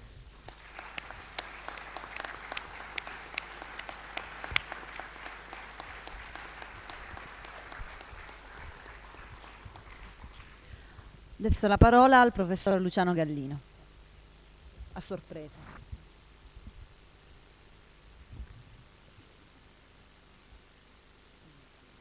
Buonasera a tutti. Tra i diversi punti, i tre punti che ha indicato Ravelli all'inizio, dirò qualcosa eh, sulla UE e sull'Unione Europea. Comincerò con una sommessa dichiarazione di principio. A mio avviso l'idea di eh, un'Europa unita in senso federale è una magnifica utopia politica e civile per la quale bisogna battersi, che va comunque realizzata, quali che saranno i tempi e gli sforzi che saranno necessari. Sulla strada di questa per la realizzazione dell'attuazione di questa utopia c'è un grosso ostacolo, che sono i difetti strutturali dell'Unione Europea. Sono difetti che si riassumono nel fatto che il trattato è trattato, Roma 57, Comunità Europea, il trattato di Maastricht del 92, la comunità diventa Unione Europea trattava sul funzionamento dell'Unione Europea di Lisbona nel 2007. Beh, eh, man mano che eh, arrivavano nuovi trattati, eh, la UE si veniva sempre più configurando come un patto oh, fondamentalmente economico tra gli Stati, eh, gli stati membri. Un patto economico di cui il massimo scopo è la liberalizzazione transfer dei movimenti di capitale, degli scambi commerciali, dei servizi e delle forze di lavoro a condizione che siano private di ogni, di ogni diritto in forza delle prime tre liberalizzazioni. Qualunque altro scopo, dalla piena occupazione all'attuazione di una giustizia sociale, pena ragionevole, eh, oppure il tema delle disuguaglianze, è menzionato di passaggio oh, in tutti questi trattati, che complessivamente sono parecchie settimane di parlo, eh, sono menzionate soltanto di passaggio come esito eventuale eh, accessorio delle suddette eh, liberalizzazioni all'insegna di un'economia altamente competitiva che è la grande idea alla base del trattato di eh, Lisbona che eh, costituisce eh, che, che, che il funzionamento dell'Unione Europea. Qualsiasi altro scopo, la piena occupazione, una ragionevole giustizia sociale, il contrasto alle, eh, alle disuguaglianze, è menzionato qui là di passata soltanto come esito eventuale delle suddette liberalizzazioni e a condizioni che non ostacoli le uh, suddette uh, liberalizzazioni. In aggiunta, i trattati UE, tutti insieme, hanno inventato la banca centrale alla quale, caso assolutamente unico al mondo, è vietato fare quello per cui le banche centrali sono state storicamente istituite da quando fino al 1600 si è istituita la Banca d'Inghilterra. Lo scopo è prestare denaro allo Stato quando la situazione lo richiede. Questo la BCE non lo può fare perché l'articolo 193 del trattato glielo vieta. Ci sono stati, ci sono esiti eh, pesantemente negativi di, di questo primato assoluto che i trattati UE assegnano a economia e finanza. Uno è stato il forte aumento delle disuguaglianze di reddito e di ricchezza, iniziato fin dagli anni 80, In vent'anni la quota salari sul PIL, quanto incidono in percentuale i salari, stipendi e redditi da lavoro sul PIL, è diminuita in media nei paesi eh, UE di ben 10 punti. Si tratta in complesso di migliaia di miliardi di euro che in Italia, in Germania, in Francia e altrove sono passati dai salari ai profitti e alle rendite, con un proporzionale declino della quota di contributi che alimentano la spesa sociale, per cui uno può dire, ah però ma quanto costano le pensioni, la sanità, i maestri, eh, gli, gli, asili, eh, eh, eccetera. E mille miliardi in dieci anni o qualcosa di più che sono passati in differenti paesi in ciascuno dei differenti paesi eh, dai profitti, alle, dai, eh, dai, salari, dal lavoro alle, eh, alle rendite. Poi è scoppiata la crisi del, del, 2008 che ha una fortissima componente europea, non credete alla storia che eh, gli Stati Uniti, brutti e cattivi, eh, hanno creato una crisi e poi noi lo dobbiamo sopportare. No, L'Europa ha liberalizzato la finanza almeno dieci anni prima degli Stati, degli Stati Uniti la finanza europea e i governi europei hanno in questo campo grandi responsabilità. Beh, comunque arriva la crisi del 2008 e, e i governi europei, meglio, eh, i vertici della dirigenza del, eh, dell'Unione Europea mostrano tutti i loro limiti istituzionali perché sbagliano totalmente la gestione della crisi si inventano le politiche di austerità che sono esattamente il contrario di quello che bisognava, bisognerebbe fare eh, quando oh, l'economia eh, non, eh, non, va bene. E eh, i risultati sono stati disastrosi.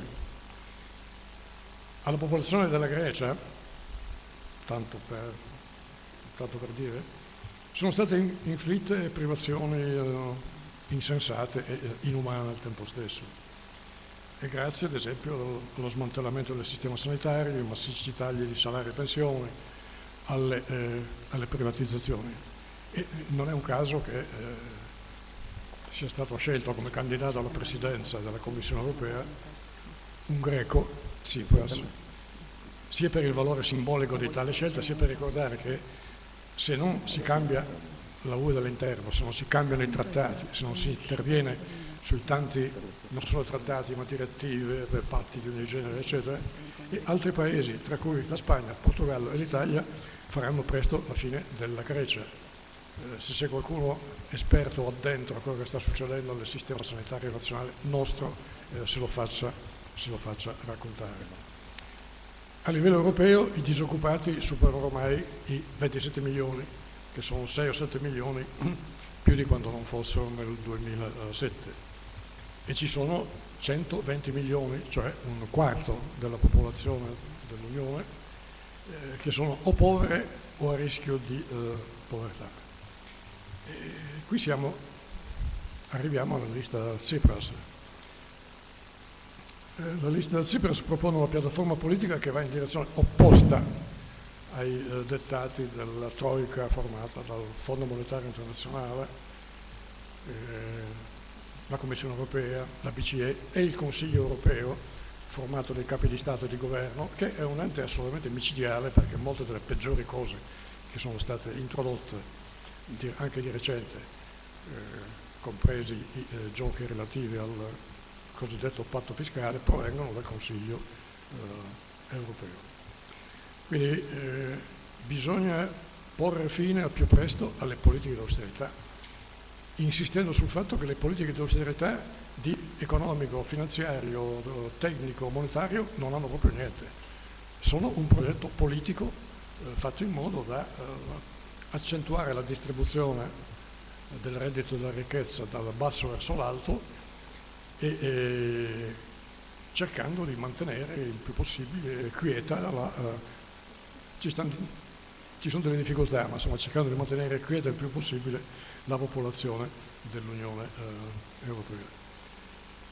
La popolazione europea.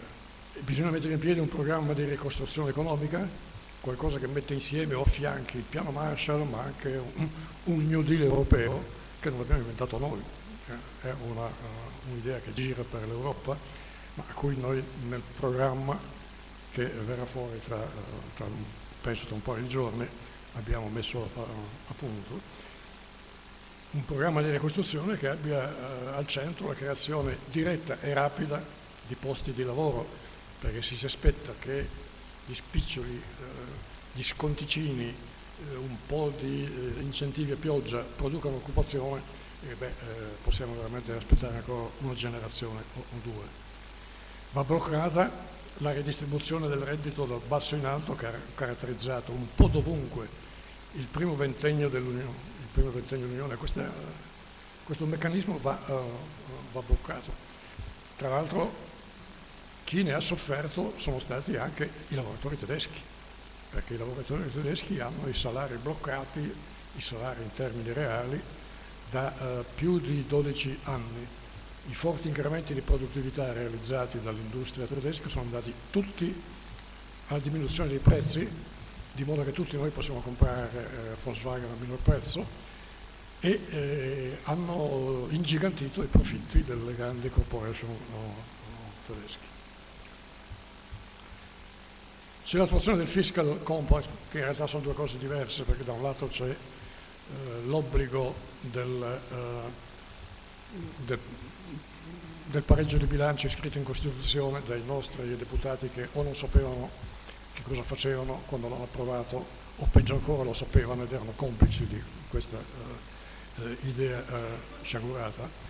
Però ci sono pezzi es, del, del, cosiddetto patto fiscale che si possono mettere in discussione, e, eh, tra cui la, la, riduzione del, del debito da, da parte degli Stati membri fin verso il 60% circa il rapporto debito-PIL al ritmo medio di un, uh, un ventesimo l'anno.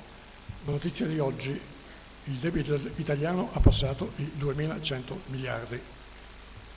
E eh, si potrebbe anche ridurre di un uh, ventesimo l'anno senza troppo soffrire.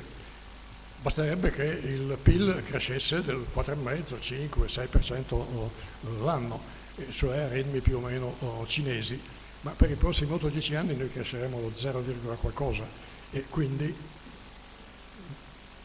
non solo decine, ma tra qualche anno centinaia di eh, miliardi continueranno ad essere sottratti alle, eh, agli incassi dello Stato per pagare il eh, il debito per eh, soddisfare a quelle incredibili clausole che i nostri deputati hanno tradotto in legge impiegando 3 o 4 minuti, forse 10, quanti se ne dedica a, alle, non so, alla coltivazione delle mele in Trentino o, o cose del genere nel, 2000, uh, nel 2012. Questa attuazione va bloccata non solo per l'Italia, tenendo conto che è probabilmente materialmente impossibile anche per altri paesi UE, non soltanto per, uh, per l'Italia. Alla BCE andrebbe conferito lo statuto di una vera banca centrale, e ce l'ha la Banca d'Inghilterra, la Banca del Giappone, la Banca della Svizzera, eh, che può autonomamente stampare moneta e prestare denaro al, uh, allo Stato e mettere in circolo più o meno denaro a seconda delle uh, esigenze. La BCE non può, uh, non può farla mentre la, la, nostra cosiddetta banca centrale è autorizzata a prestare, eh, ban, eh, a prestare, denaro alle banche private, non lo può prestare allo, allo, Stato, ma può prestare alle banche private al tasso che è stato dell'1%, ma adesso pensano di ridurlo eh, perché le, le, banche hanno protestato un, un po'. Dopodiché cosa fanno le banche? Comprano titoli di Stato che rendono il 3,5, il 4 o il 5% o l'anno. L'ultima cosa che fanno è prestare soldi alle piccole e medie imprese e altre cose del, del genere. E poi c'è la storia del Parlamento europeo. Il Parlamento europeo è l'unico organo elettivo che abbiamo. E il fatto è che non conta niente, o quasi.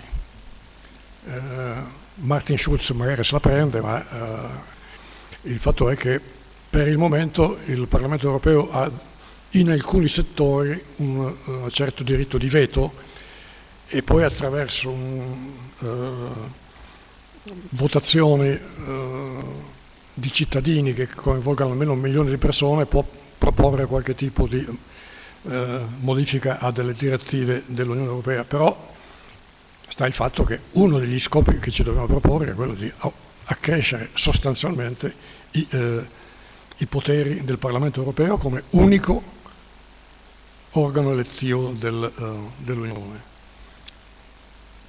Bisogna dire che alcuni elementi di, della piattaforma che ho ricordato potrebbero anche essere attuati interpretando in modo un po' meno passivo e un po' meno incompetente eh, perfino alcune clausole dei trattati quali eh, esistono, però la maggior parte richiederebbe una copiosa revisione dei trattati. Concludo dicendo, ma certo, quale potrebbe essere la forza di attrazione di a livello europeo di una lista che propone un programma simile, ma è piuttosto difficile dirlo. Eh, in Italia, come in Francia e in Germania, i partiti che continuano a etichettarsi di sinistra o magari di centrosinistra sono lontanissimi da qualsiasi punto di questo, no, di questo programma. Eh, I laburisti inglesi, i socialdemocratici tedeschi, i socialisti, eh, eh i socialisti francesi, e quel partito italiano che non mi ricordo come si chiama, hanno perso totalmente, è impressionante.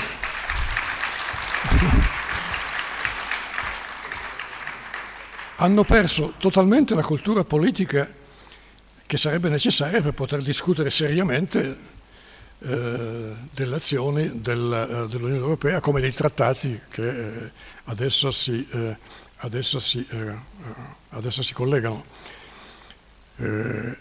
Sono rimaste le etichette, ma i contenuti, contenuti che furono importanti ad esempio nel creare tra il 45, anzi tra il 42, perché cominciarono gli inglesi sotto le bombe tedesche, eh, tra il 45 e eh, gli, anni, gli anni 60 hanno creato quella grande istituzione europea che è lo Stato sociale, un'idea assolutamente fondamentale alimentata da culture politiche molto diverse, i comunisti, i cristiano-sociali, i socialdemocratici eh, prima di Schröder, parecchi anni prima di, uh, di, di, di, Schröder, e altre culture liberali, eh, eccetera, hanno alimentato questa grande eh, idea. Eh, I danni che possono infliggere a una persona, a una, a una famiglia, eh, l'incidente, la disoccupazione, la, eh, la povertà, la malattia, eh, sono così gravi, sono così devastanti che è un principio civile e morale fondamentale che la collettività se ne faccia eh, carico e non chieda fin dalla nascita eh, al nascituro o alla nascitura di eh, farsi un, eh, eh, una pensione integrativa o un'assicurazione sanitaria. Negli Stati Uniti, ad esempio in California, dove ho passato un paio d'anni, eh, bastano 30.000 dollari l'anno per farsi una buona assicurazione sanitaria per quattro, uh, per quattro persone. Con il Joe probabilmente um, un contributo in questo senso si può uh, trovare. Quindi la cultura politica diffusa che possa sostenere proposte di questo genere, ahimè, non c'è.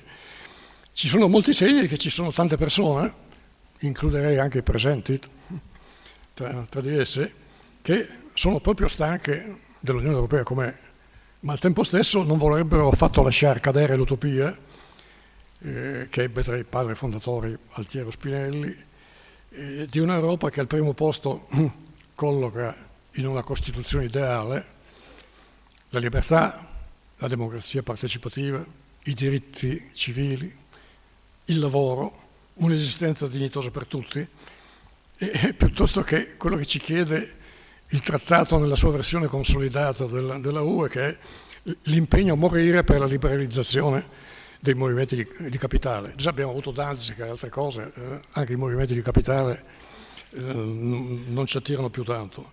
E da quel che sta uh, succedendo in Italia sono queste persone che trova interesse nelle proposte concrete, specifiche, tra un giorno o due Guardo Guardorelli dovrebbe andare in rete, essere diffuso il programma che è lungo, dettagliato e eh, concreto. E, e bisogna vedere se si riescono a moltiplicare le persone che di fronte alla mancanza totale di idee in tema di Europa dei partiti tradizionali e di quel generico ribellismo un po' da sfasciacarrozze che accomuna le formazioni populiste che stanno crescendo in molti paesi cerchino di fare qualche passo sulla strada della realizzazione eh, dell'utopia che ho eh, ricordato. Grazie.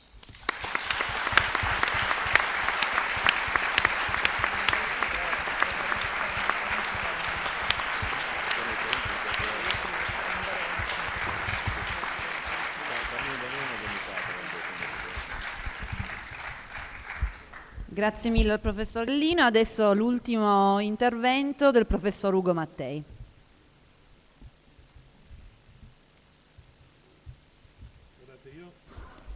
Intanto eh, grazie per essere venuti qui così numerosi e, e voglio iniziare anch'io con un mini passaggio personale che però è anche un ringraziamento a Marco Revelli perché eh, abbiamo avevamo provato insieme a fare una cosa simile che era, che era, non mi ricordo più come si chiamava, ma insomma, eh, cambiare si può, ecco, un po' di tempo fa. Eh, esatto, lasciamo perdere, però invece Marco ha insistito e io pensando che fosse una cosa che andava in quella direzione all'inizio sono stato molto tiepido, poi però girando per... Eh, le mie cose che faccio normalmente di politica dei beni comuni nei luoghi delle lotte, eccetera, mi è parso di vedere che su questa ipotesi della lista Tsipras ci fosse effettivamente più entusiasmo e più partecipazione. E, e questo davvero lo dobbiamo alla, alla, a Marco che è riuscito a far partire, sì, sì, tu più di tutti gli altri, che è riuscito a far partire con testardaggine questo, questo, cammino. Io penso che sia più importante il processo dell'esito, questo l'ho detto anche alla prima, alla prima uscita che abbiamo fatto qui a Torino, raccogliamo le firme con gioia perché sembra un ostacolo, ma in realtà è la prima opportunità che abbiamo di parlare di questi temi e alla fine avremo un vantaggio dal processo di raccolta delle firme.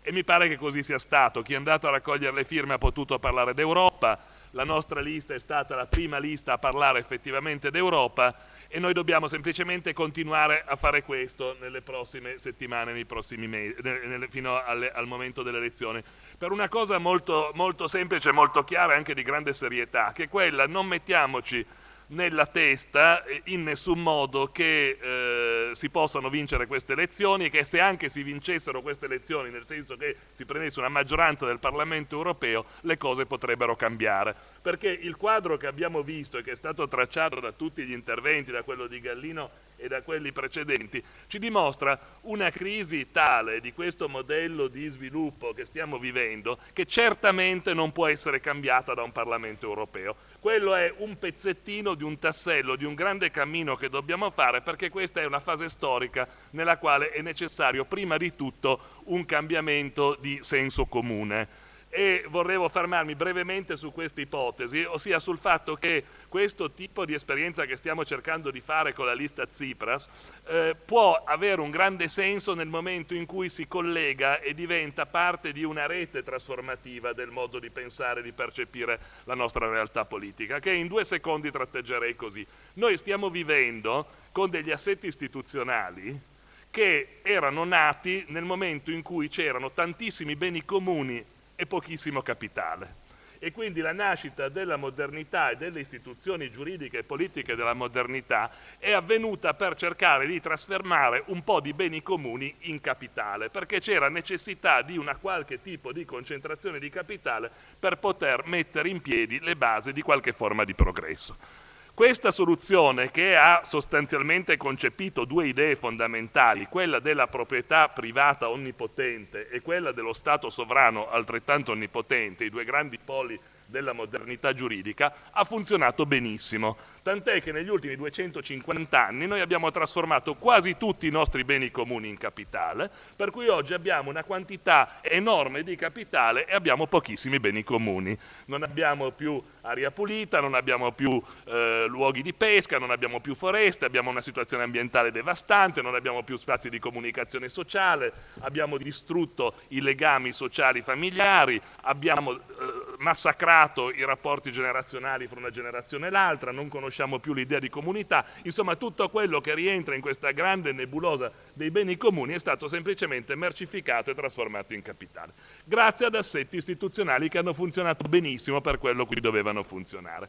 Oggi noi non possiamo, fra questi assetti c'è sicuramente la sovranità politica degli Stati, l'ha detto bene eh, Gustavo Zagrebelski, noi non possiamo certamente metterci di fronte a questo cammino dicendo ma forse potremmo far diventare l'Europa un grande Stato quello poteva essere un'idea in una certa fase storica, ma oggi non è quella, secondo me, la soluzione. Noi non dobbiamo immaginare un'Europa che diventa un nuovo megastato potente quanto il mercato europeo, che è, come sapete, il prodotto interno lordo più grande del mondo e che quindi potrebbe diventare un grande player globale, noi non dobbiamo cercare di fare quello, ma dobbiamo invece cercare di pensare dei nuovi assetti istituzionali che ci consentano finalmente di trasformare un po' di capitale in beni comuni, cioè dobbiamo invertire la rotta davvero dal punto di vista istituzionale, prendendo tutto questo capitale che abbiamo generato, che oggi è di una quantità è, è, talmente, è talmente importante da essere stato capace di sovvertire gli stessi rapporti col politico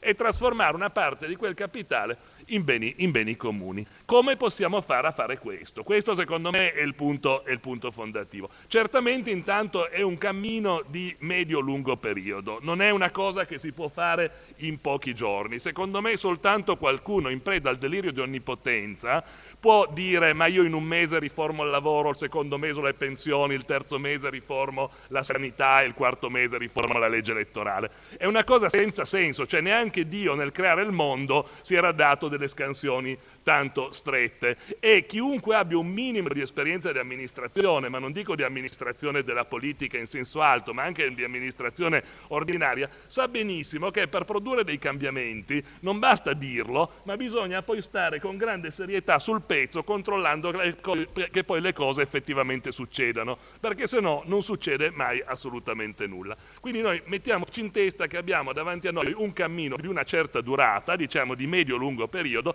ed è per questo questo che io penso sia molto importante votare dei candidati giovani. Non lo dico perché ho qui vicino Alessandra Quarta, che, ci terrei moltissimo che fosse eletta, ma perché davvero io credo che ci vogliano vent'anni di attività politica seria per poter vedere alcuni degli esiti che noi stiamo cercando di mettere in campo oggi. E quindi ci vogliono persone che siano competenti, siano piene di energie e siano soprattutto non affette dal delirio di onnipotenza, di poter pensare che soltanto perché sono giovani assomigliano a Fonzi possono effettivamente, effettivamente cambiare il mondo. Allora questo secondo me è una cosa è una cosa molto importante, perché ripeto, siccome la visione deve essere quella, cioè noi non dobbiamo fare niente meno che prendere gli assetti costituzionali del costituzionalismo liberale borghese, che è quello che ancora ci sta governando, e girarli come un guanto, perché quegli assetti istituzionali hanno portato alla supremazia del privato sul pubblico, hanno manifestato, hanno prodotto uno sbilanciamento costituzionale che non è soltanto italiano, ma che è un fenomeno del costituzionalismo liberale nel senso più ampio del termine. Cioè noi abbiamo dei sistemi costituzionali che ancora assumono che il soggetto potente da cui ci si debba difendere e nei confronti dei quali si debbano difendere i diritti sia lo Stato leviatano no? e che quindi il rapporto tra privato e pubblico sia che il privato è debole e deve essere difeso dallo Stato forte no? perché lo Stato potrebbe ledere i suoi diritti. Oggi purtroppo non è più così perché lo Stato è debole, il privato concentrato è estremamente forte e quindi adesso noi abbiamo la necessità davvero di difendere gli assetti pubblici nei confronti della predazione privata, che è esattamente il contrario di quello che c'è scritto nelle nostre Costituzioni, perché le nostre Costituzioni sono quelle che ci consentono di privatizzare i beni comuni e i beni pubblici con una semplice decisione politica dell'esecutivo, senza nessuna giustiziabilità di quelle decisioni e quindi che sostanzialmente difendono la proprietà privata nei confronti dell'espropriazione, ma non, non, difendono minimamente il pubblico nei confronti della privatizzazione. E questo è quello che sta succedendo, succedendo oggi intorno a noi. Allora io credo che noi nel costituzionalismo più avanzato, e non voglio certamente rubare il mestiere a Gustavo parlando, parlando di Costituzione, ma siccome questo è il tema della giornata mi permetto, mi permetto di farlo, non ci fosse stato scritto non mi sarei mai lanciato in tutto ciò, Penso peraltro che nella nostra Carta Costituzionale del 48 ci fossero in qualche modo gli orizzonti eh, della direzione verso la quale si sarebbe potuto andare. Anche se la carta è stata poi interpretata, soprattutto negli ultimi vent'anni dopo la caduta del muro di Berlino, come se non fosse una carta sociale successiva alla Costituzione di Weimar, ma fosse invece una carta simile alla Dichiarazione universale dei diritti dell'uomo, quindi ancora una carta radicata nell'illuminismo eh, di, fine, di, fine, di fine Settecento. Mi riferisco al fatto che nel nostro assetto costituzionale vicino ai diritti ci sono i doveri no? e noi invece parliamo sempre soltanto di diritti e non parliamo mai di doveri. Vicino all'individuo c'è la comunità, l'individuo è tutelato nelle comunità di riferimento e noi abbiamo invece demonizzato la comunità come se la comunità fosse un elemento di oscurantismo, un luogo nel quale si viene soltanto oppressi. Invece individuo e comunità sono di pari grado a livello costituzionale e va recuperata la dimensione comunitaria perché quella è la dimensione, secondo me, che dal sotto in su può, effettare, può effett- eh, può proporre degli strumenti di trasformazione costituzionale vera. E infine, sempre nella nostra Carta Costituzionale, sono presenti tanto la proprietà privata quanto la proprietà pubblica, che sono posti esattamente sullo stesso livello, mentre invece poi abbiamo, ris abbiamo riservato le nostre preoccupazioni di giustiziabilità costituzionale ai processi di espropriazione della proprietà privata, ma nulla di simile abbiamo fatto in tutte le ipotesi in cui sono stati i beni pubblici ad essere oggetti di fenomeni di rapacità capacità dello Stato controllato ormai completamente dai poteri privati forti e concentrati. Allora questo quadro va riscritto interamente. Io credo che nel momento in cui noi cerchiamo di mettere mano ad un'Europa nuova, dobbiamo capire molto, in modo molto sereno che i veri processi politici oggi non si svolgono più nel dibattito politico intorno alle istituzioni costituzionali tradizionali. Ed è stato detto molto bene da Maltese, cioè sul giornale ci sono grandi chiacchiere perché in realtà le cose che vengono fatte par nel Parlamento italiano oggi importano pochissimo. Le vere decisioni che rilevano oggi sono prese nei consigli di amministrazione di Goldman Sachs, nei consigli di amministrazione delle grandi banche, all'interno delle organizzazioni datoriali eh, de degli industriali, all'interno delle banche centrali europee, cioè all'interno delle istituzioni dell'economia, non all'interno delle istituzioni della politica, ma all'interno delle istituzioni dell'economia. E quindi quello che va portato avanti in modo forte e chiaro, e lì credo che il Parlamento europeo possa essere quello che è, cioè una buona cassa di risonanza a livello europeo di problematiche politiche, perché è poco di più che questo, nel senso che non conta come organismo decisionale, conta però secondo me in modo importante per mettere delle tematiche all'ordine del giorno. Se è composto di persone competenti e capaci, può mettere all'ordine del giorno delle tematiche di grande rilevanza e partecipare quindi alla costruzione di un dibattito politico di medio-lungo periodo, quale quello che cerchiamo di fare adesso in questa campagna, in questa campagna elettorale, e eh, lo si può fare sostanzialmente mettendo al centro la questione del governo democratico dell'economia. Cioè la democrazia deve rivendicare i suoi spazi di incisione all'interno dei processi economici che soltanto con l'ideologia del privato diverso dal pubblico si sono riparati rispetto alla messa in discussione dei processi democratici. Cioè dobbiamo riportare in qualche modo le questioni democratiche all'interno dei luoghi che effettivamente contano e i luoghi che effettivamente contano oggi sono i luoghi dell'economia, quindi è lì che dobbiamo cercare di incidere dopo esserci liberati in qualche misura di questo feticcio del mondo racchiuso in una grande distinzione tra pubblico e privato, che altro non è che l'ascito di di un modello istituzionale, che è proprio quel modello istituzionale che era stato creato per trasformare beni comuni in capitale, che è stato il modello istituzionale che tanto, tanto successo ha avuto. Quindi in conclusione io credo che sia importante ovviamente andare a votare Tsipras, sia importante eh, soprattutto il fatto di continuare in questa campagna attraverso la riproposizione dei temi europei con un processo di porta a porta simile a quello che avevamo fatto con il referendum dell'acqua che abbiamo, visto, che abbiamo vinto nonostante la Repubblica, nonostante il TG3, nonostante tutti quelli che sono contento che adesso si capisca che sono dalla parte opposta, lo possiamo fare attraverso un lavoro di tematizzazione seria di questo processo. Abbiamo i candidati seri, abbiamo delle persone molto capaci e molto competenti che possiamo proporre con grande dignità, proponiamo competenza, pro, proponiamo tematiche e vedrete che se lo facciamo in modo convinto, perché queste sono tematiche che vanno discusse, senza questa sorta di ansia per cui l'esito percentuale dell'elezione sia decisivo. Certo, se passiamo la soglia, io sono convinto che la passeremo e la passeremo anche in modo abbastanza largo, io penso, ma comunque questa è l'opinione mia. Se passiamo la soglia tanto meglio, ma il passare la soglia ha una sua importanza di tipo generativo, cioè dobbiamo utilizzare il Parlamento europeo come un luogo generativo di nuove idee, di nuovi processi, di nuove capacità di costruzione di idealità politica. Dobbiamo farlo quindi con dei candidati competenti e con dei candidati giovani perché ci vuole molto tempo. Grazie mille.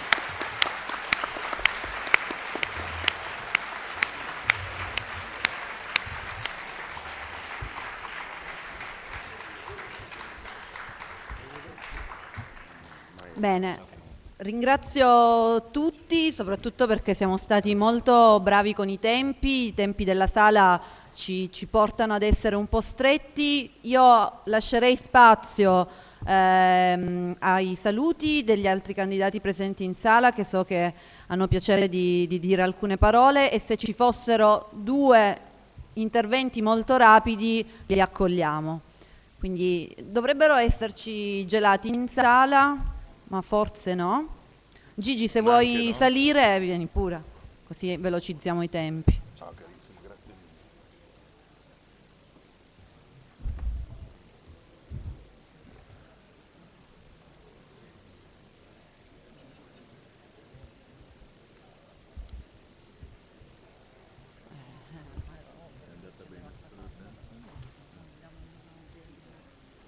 Ferma sul suo libro.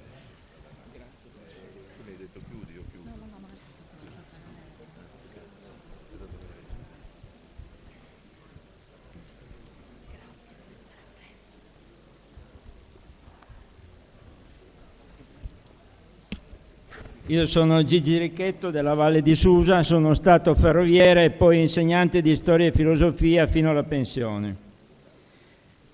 Vi porto il saluto di questa valle che resiste da più di vent'anni e vorrei, vorrei ricordare che nel 2006, a poche settimane da quella notte delle infamie in cui colpirono delle persone inermi che difendevano la loro terra, noi organizzammo un convegno dal titolo Presidiare la democrazia e realizzare la Costituzione, che si svolse a Bardonecchia, a Susa, a Bussoleno e a Condove. Un convegno itinerante. Era il 12 dicembre del 2005. Nel 2006 pubblicammo gli atti presso la tipografia Melli. È ancora disponibile questo documento di cui sono molto orgoglioso. Tra i relatori c'era forse il più grande filosofo italiano che è scomparso da poco, anche a livello europeo, che aveva studiato con Althusser e soprattutto era un amico profondo della Grecia, Costanzo Preve, a cui va il mio ricordo e la mia gratitudine. E visto che abbiamo parlato della Grecia, sul logo potete vedere il mio sito è gigiricchetto.it, io ho un logo disegnato da un delegato dell'Olivetti, oggi in pensione, Rinaldo Francone, compagno di scuola, minacciato di morte per il suo lavoro sindacale, tra l'altro. Era il responsabile nazionale dell'Olivetti, responsabile di qualità dell'Olivetti, iscritto alla CGL.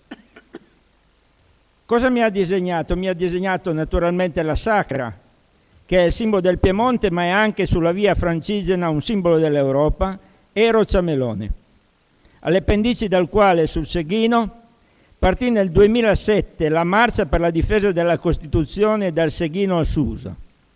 Mentre si picchiavano noi rispondemmo con il dibattito, con il dialogo.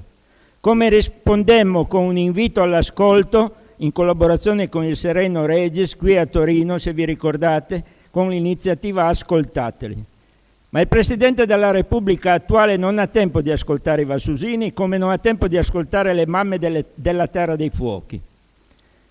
Io avevo sette anni quando il maestro, c'erano i trattati di Roma 1957, seconda elementare, indisse il concorso per l'Europa. Disegnai un'Europa dall'Atlantico agli Urali senza frontiere colorata di rosso. Il mio maestro era democristiano. Mi chiese perché, disse è il colore dell'amore. Io e lui sorrise ed era anche lui convinto che fosse così, che bisognasse costruirla così. Nel 1983, il primo anno di insegnamento, Pertini intervenne a Strasburgo con quel memorabile discorso nel quale diceva che l'Europa ha dato mondo ai mondi e parlava di Europa rapita dal toro portata in Occidente, la terra dell'occaso, come la chiama Heidegger. Io scrissi a Pertino, perché in Valle di Susa è un bel back. Abbiamo anche corretto Gramsci, ottimismo della volontà e forza della ragione, non pessimismo della ragione. Io scrissi a Pertini e Pertini, a differenza dell'attuale presidente, mi rispose e mi, mi mandò il testo integrale di quel bellissimo intervento che aveva tenuto a Strasburgo, di grande passione civile e di grande intelligenza politica.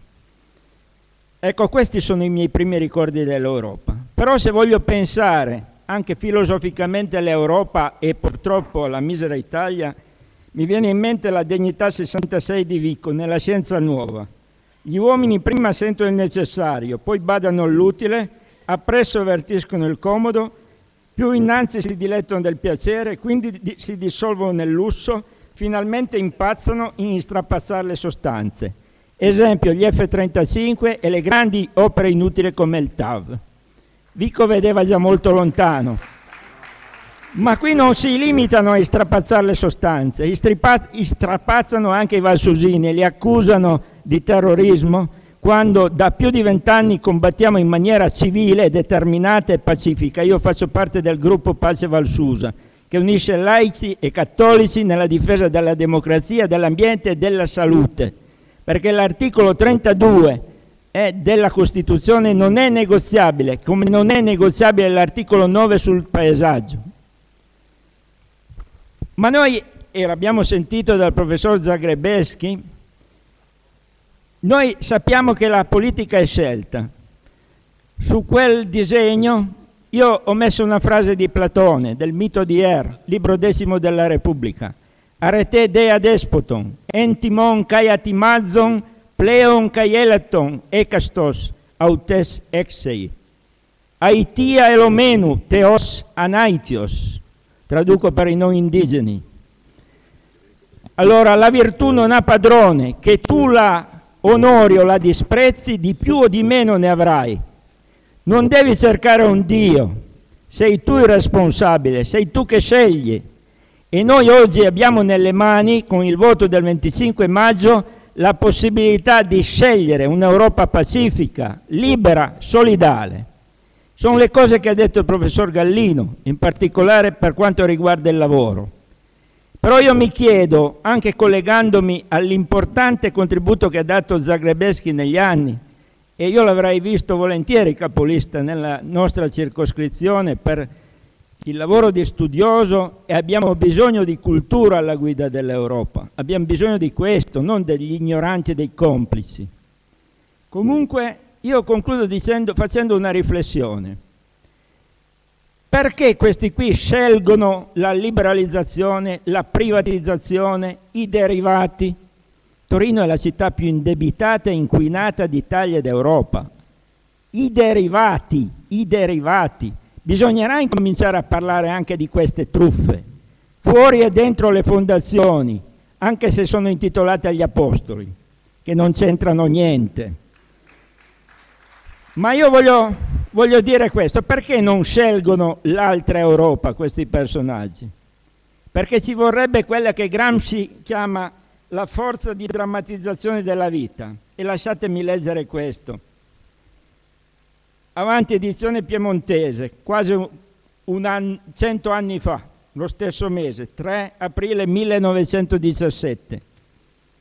È necessario sentire questi bisogni, è necessario potersi rappresentare concretamente nella fantasia questi uomini, le loro sofferenze, i loro dolori, le tristezze della vita che sono costretti a vivere. Un uomo politico è grande in misura della sua forza di previsione e Simon Weil diceva conoscere i bisogni terrestri del corpo e dell'anima umana. Ma dove sono i politici oggi, a destra o a sinistra, tra virgolette, che sentono questi bisogni? Io ero a Sanremo, e chiudo adesso Marco, ero a Sanremo per la campagna elettorale, per la raccolta delle firme e mi raccontava una compagna che era stata ad Haiti ad aiutare i terremotati e io pensavo, come luogo comune, che Sanremo fosse una città opulenta, con una certa ricchezza, che dalle frazioni di Sanremo scendono a piedi, si fanno 7 chilometri, risparmiano sull'autobus per potersi pagare le medicine e vanno alle fiere dell'antiquariato per vendere i vestiti cui sono affezionati dei loro nonni o pezzi di mobilio di un certo pregio, perché non riescono più a mangiare a Sanremo. A Sanremo. E ci sono tanti altri esempi che potrei raccontare, ma voglio chiudere e vi ringrazio dello spazio che mi avete dato. Perché non hanno questa fantasia? Ma come fanno ad avere questa fantasia il Presidente della Corte Costituzionale che guadagna 1490 euro al giorno? Ugo Zampetti, segretario generale della Camera, 1309.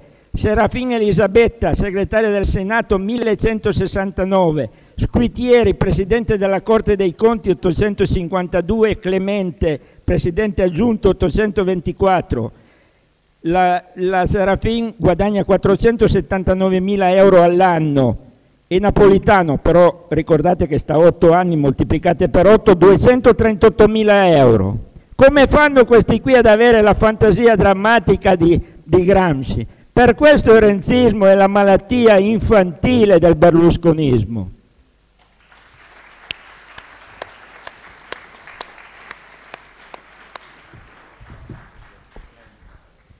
Grazie Gigi, se Nicolò e, e Andrea vogliono rapidamente salire.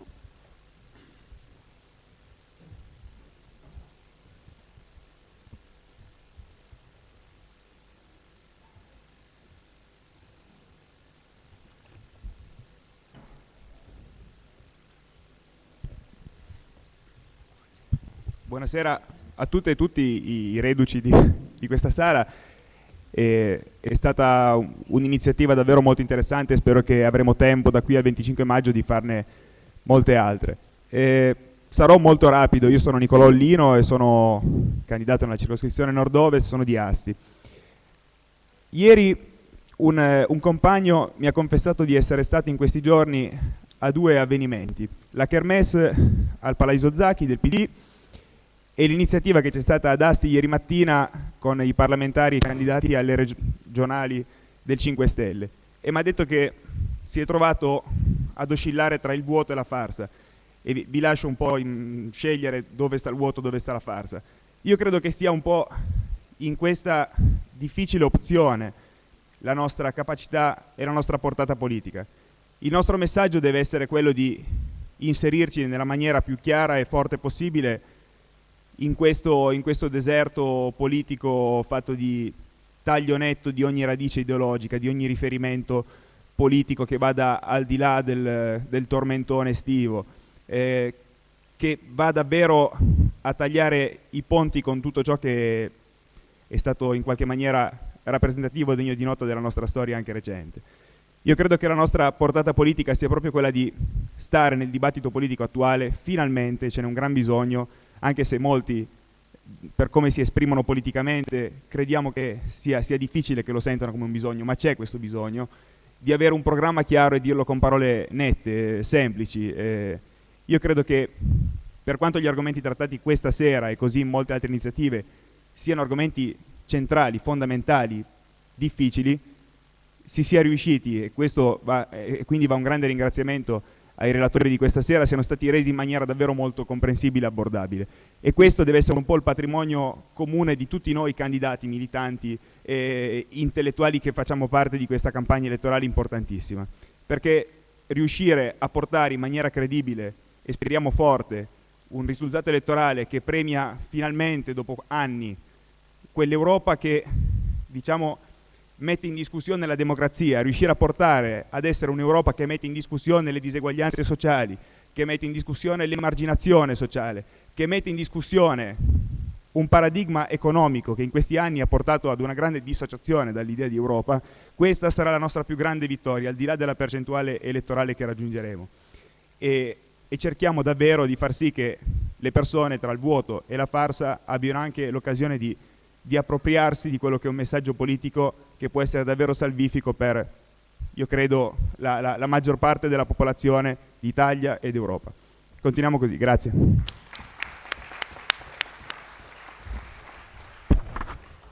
Buonasera a tutte e a tutti, io sono Andrea Padovani, candidato nella Valle d'Aosta e nella circoscrizione nord-ovest, ma eh, un breve saluto anch'io e intanto un ringraziamento per le belle parole di Marco Revelli di prima e che vorrei condividere con tutto il comitato valdostano e, e, con tutte le compagne e compagni che dalla Lombardia e dal Piemonte sono venuti a darci una mano per, come dicevamo noi in Valle d'Aosta, per scalare la cima delle 3.000 firme e l'abbiamo più che oltrepassata arrivando a 4.000 firme.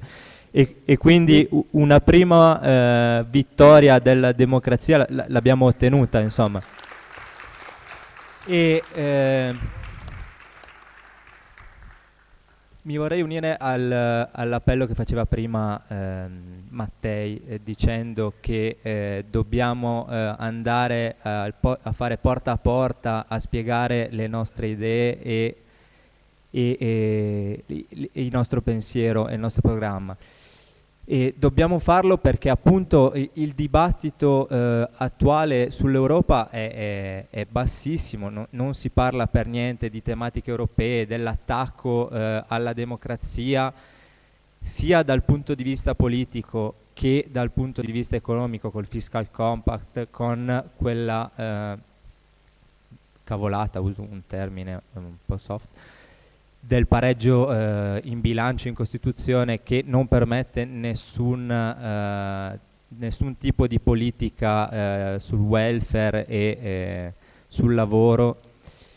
E, e, e quindi eh, mi vorrei unire a questo appello insomma a la, la prossima vittoria e quindi il superamento del 4% che eh, dovremo superare alle, alle elezioni dipende da, da, tutti noi che siamo qui in sala, insomma, noi dobbiamo a, andare a spiegare quello che è eh, eh, la nostra idea, che è l'idea di un'Europa più giusta, più equa, più, più ecologica, di, di, un'Europa vera, di un'Unione Europea eh, politica vera. E dobbiamo spiegarlo eh, con parole molto semplici, come diceva prima Nicolò, perché eh, la gente se no rischia di non, di non capirci e Insomma, eh, siamo riusciti a superare il primo sol- eh, la prima soglia che era quella delle firme, passiamo anche il 4% e portiamo in, in, in Europa le nostre idee che sono sicuramente giuste e sono quelle di un'Europa più, più giusta, più equa, solidale e ecologica. Grazie. Va bene, io... Scusa Alessandra, scusa Sì. solo un secondo prima Vai, vai, che Marco, tu chiudi concluda eh, questo incontro. Lasciatemi solo dire che noi oggi eh, non abbiamo fatto una kermesse, non abbiamo raccontato barzellette, non abbiamo fatto giochi di parole o giochi di prestigio, non abbiamo parlato d'altro, ne, ne parlavamo prima con Gustavo Zagrebeschi, oggi abbiamo fatto un pomeriggio di riflessione e eh, abbiamo affrontato in queste due ore questioni serie, serie. So che la serietà eh, non ha buona stampa, non, non buca il video, non, eh, non è materia da talk show, ma noi resteremo tenacemente legati a questa cifra di serietà. Questa sarà la nostra campagna elettorale. Non faremo compromessi. Eh, abbiamo un alleato in questo e questo alleato sono i fatti. E c'era qualcuno che diceva i fatti hanno la testa dura. I fatti sopravvivono anche dopo che i giochi di parole si disperdono, le barzellette hanno smesso di fare il loro effetto. Ecco, noi siamo alleati dei fatti e i fatti ci dicono che abbiamo ragione. Poi può darsi che in termini di voti eh, non otterremo tutto quello che meriterebbe la proposta, ma sono sicuro che, anche raccogliendo l'invito che qui è venuto da più parti, che ognuno di voi si faccia tramite di questo progetto e di questa eh, avventura, eh, sono sicuro che così come abbiamo superato lo scoglio delle firme, supereremo anche la prova del voto. Alessandra. Eh, credo che Marco abbia detto tutto, io vi ringrazio soprattutto perché ha resistito fino alla fine, credo che abbiamo sentito parlare in questo pomeriggio di tanti temi che sono al centro della campagna elettorale ma di un impegno politico di lungo periodo. Di altri non abbiamo parlato ma ci sarà tempo per farlo, vi dico che all'inizio di maggio organizzeremo un appuntamento dedicato al tema del lavoro e faremo di tutto, in questo Marco ci, da- ci darà sicuramente una mano per portare Tsipras a Torino in chiusura della campagna. Quindi i compiti a casa ve li abbiamo dati, diciamo così, o meglio ce li siamo dati, provare a raccontare l'Europa che immaginiamo e l'esperienza di questa lista a tutti quelli che conosciamo e che ancora eh, ancora non lo sanno. I giornali in questo non ci daranno una mano, ma il referendum per l'acqua l'abbiamo vinto, ce l'abbiamo fatta, dobbiamo riprodurre questa esperienza con lo stesso carico di energia e di entusiasmo. Quindi alla prossima occasione e andiamo avanti perché possiamo farcela. Grazie mille.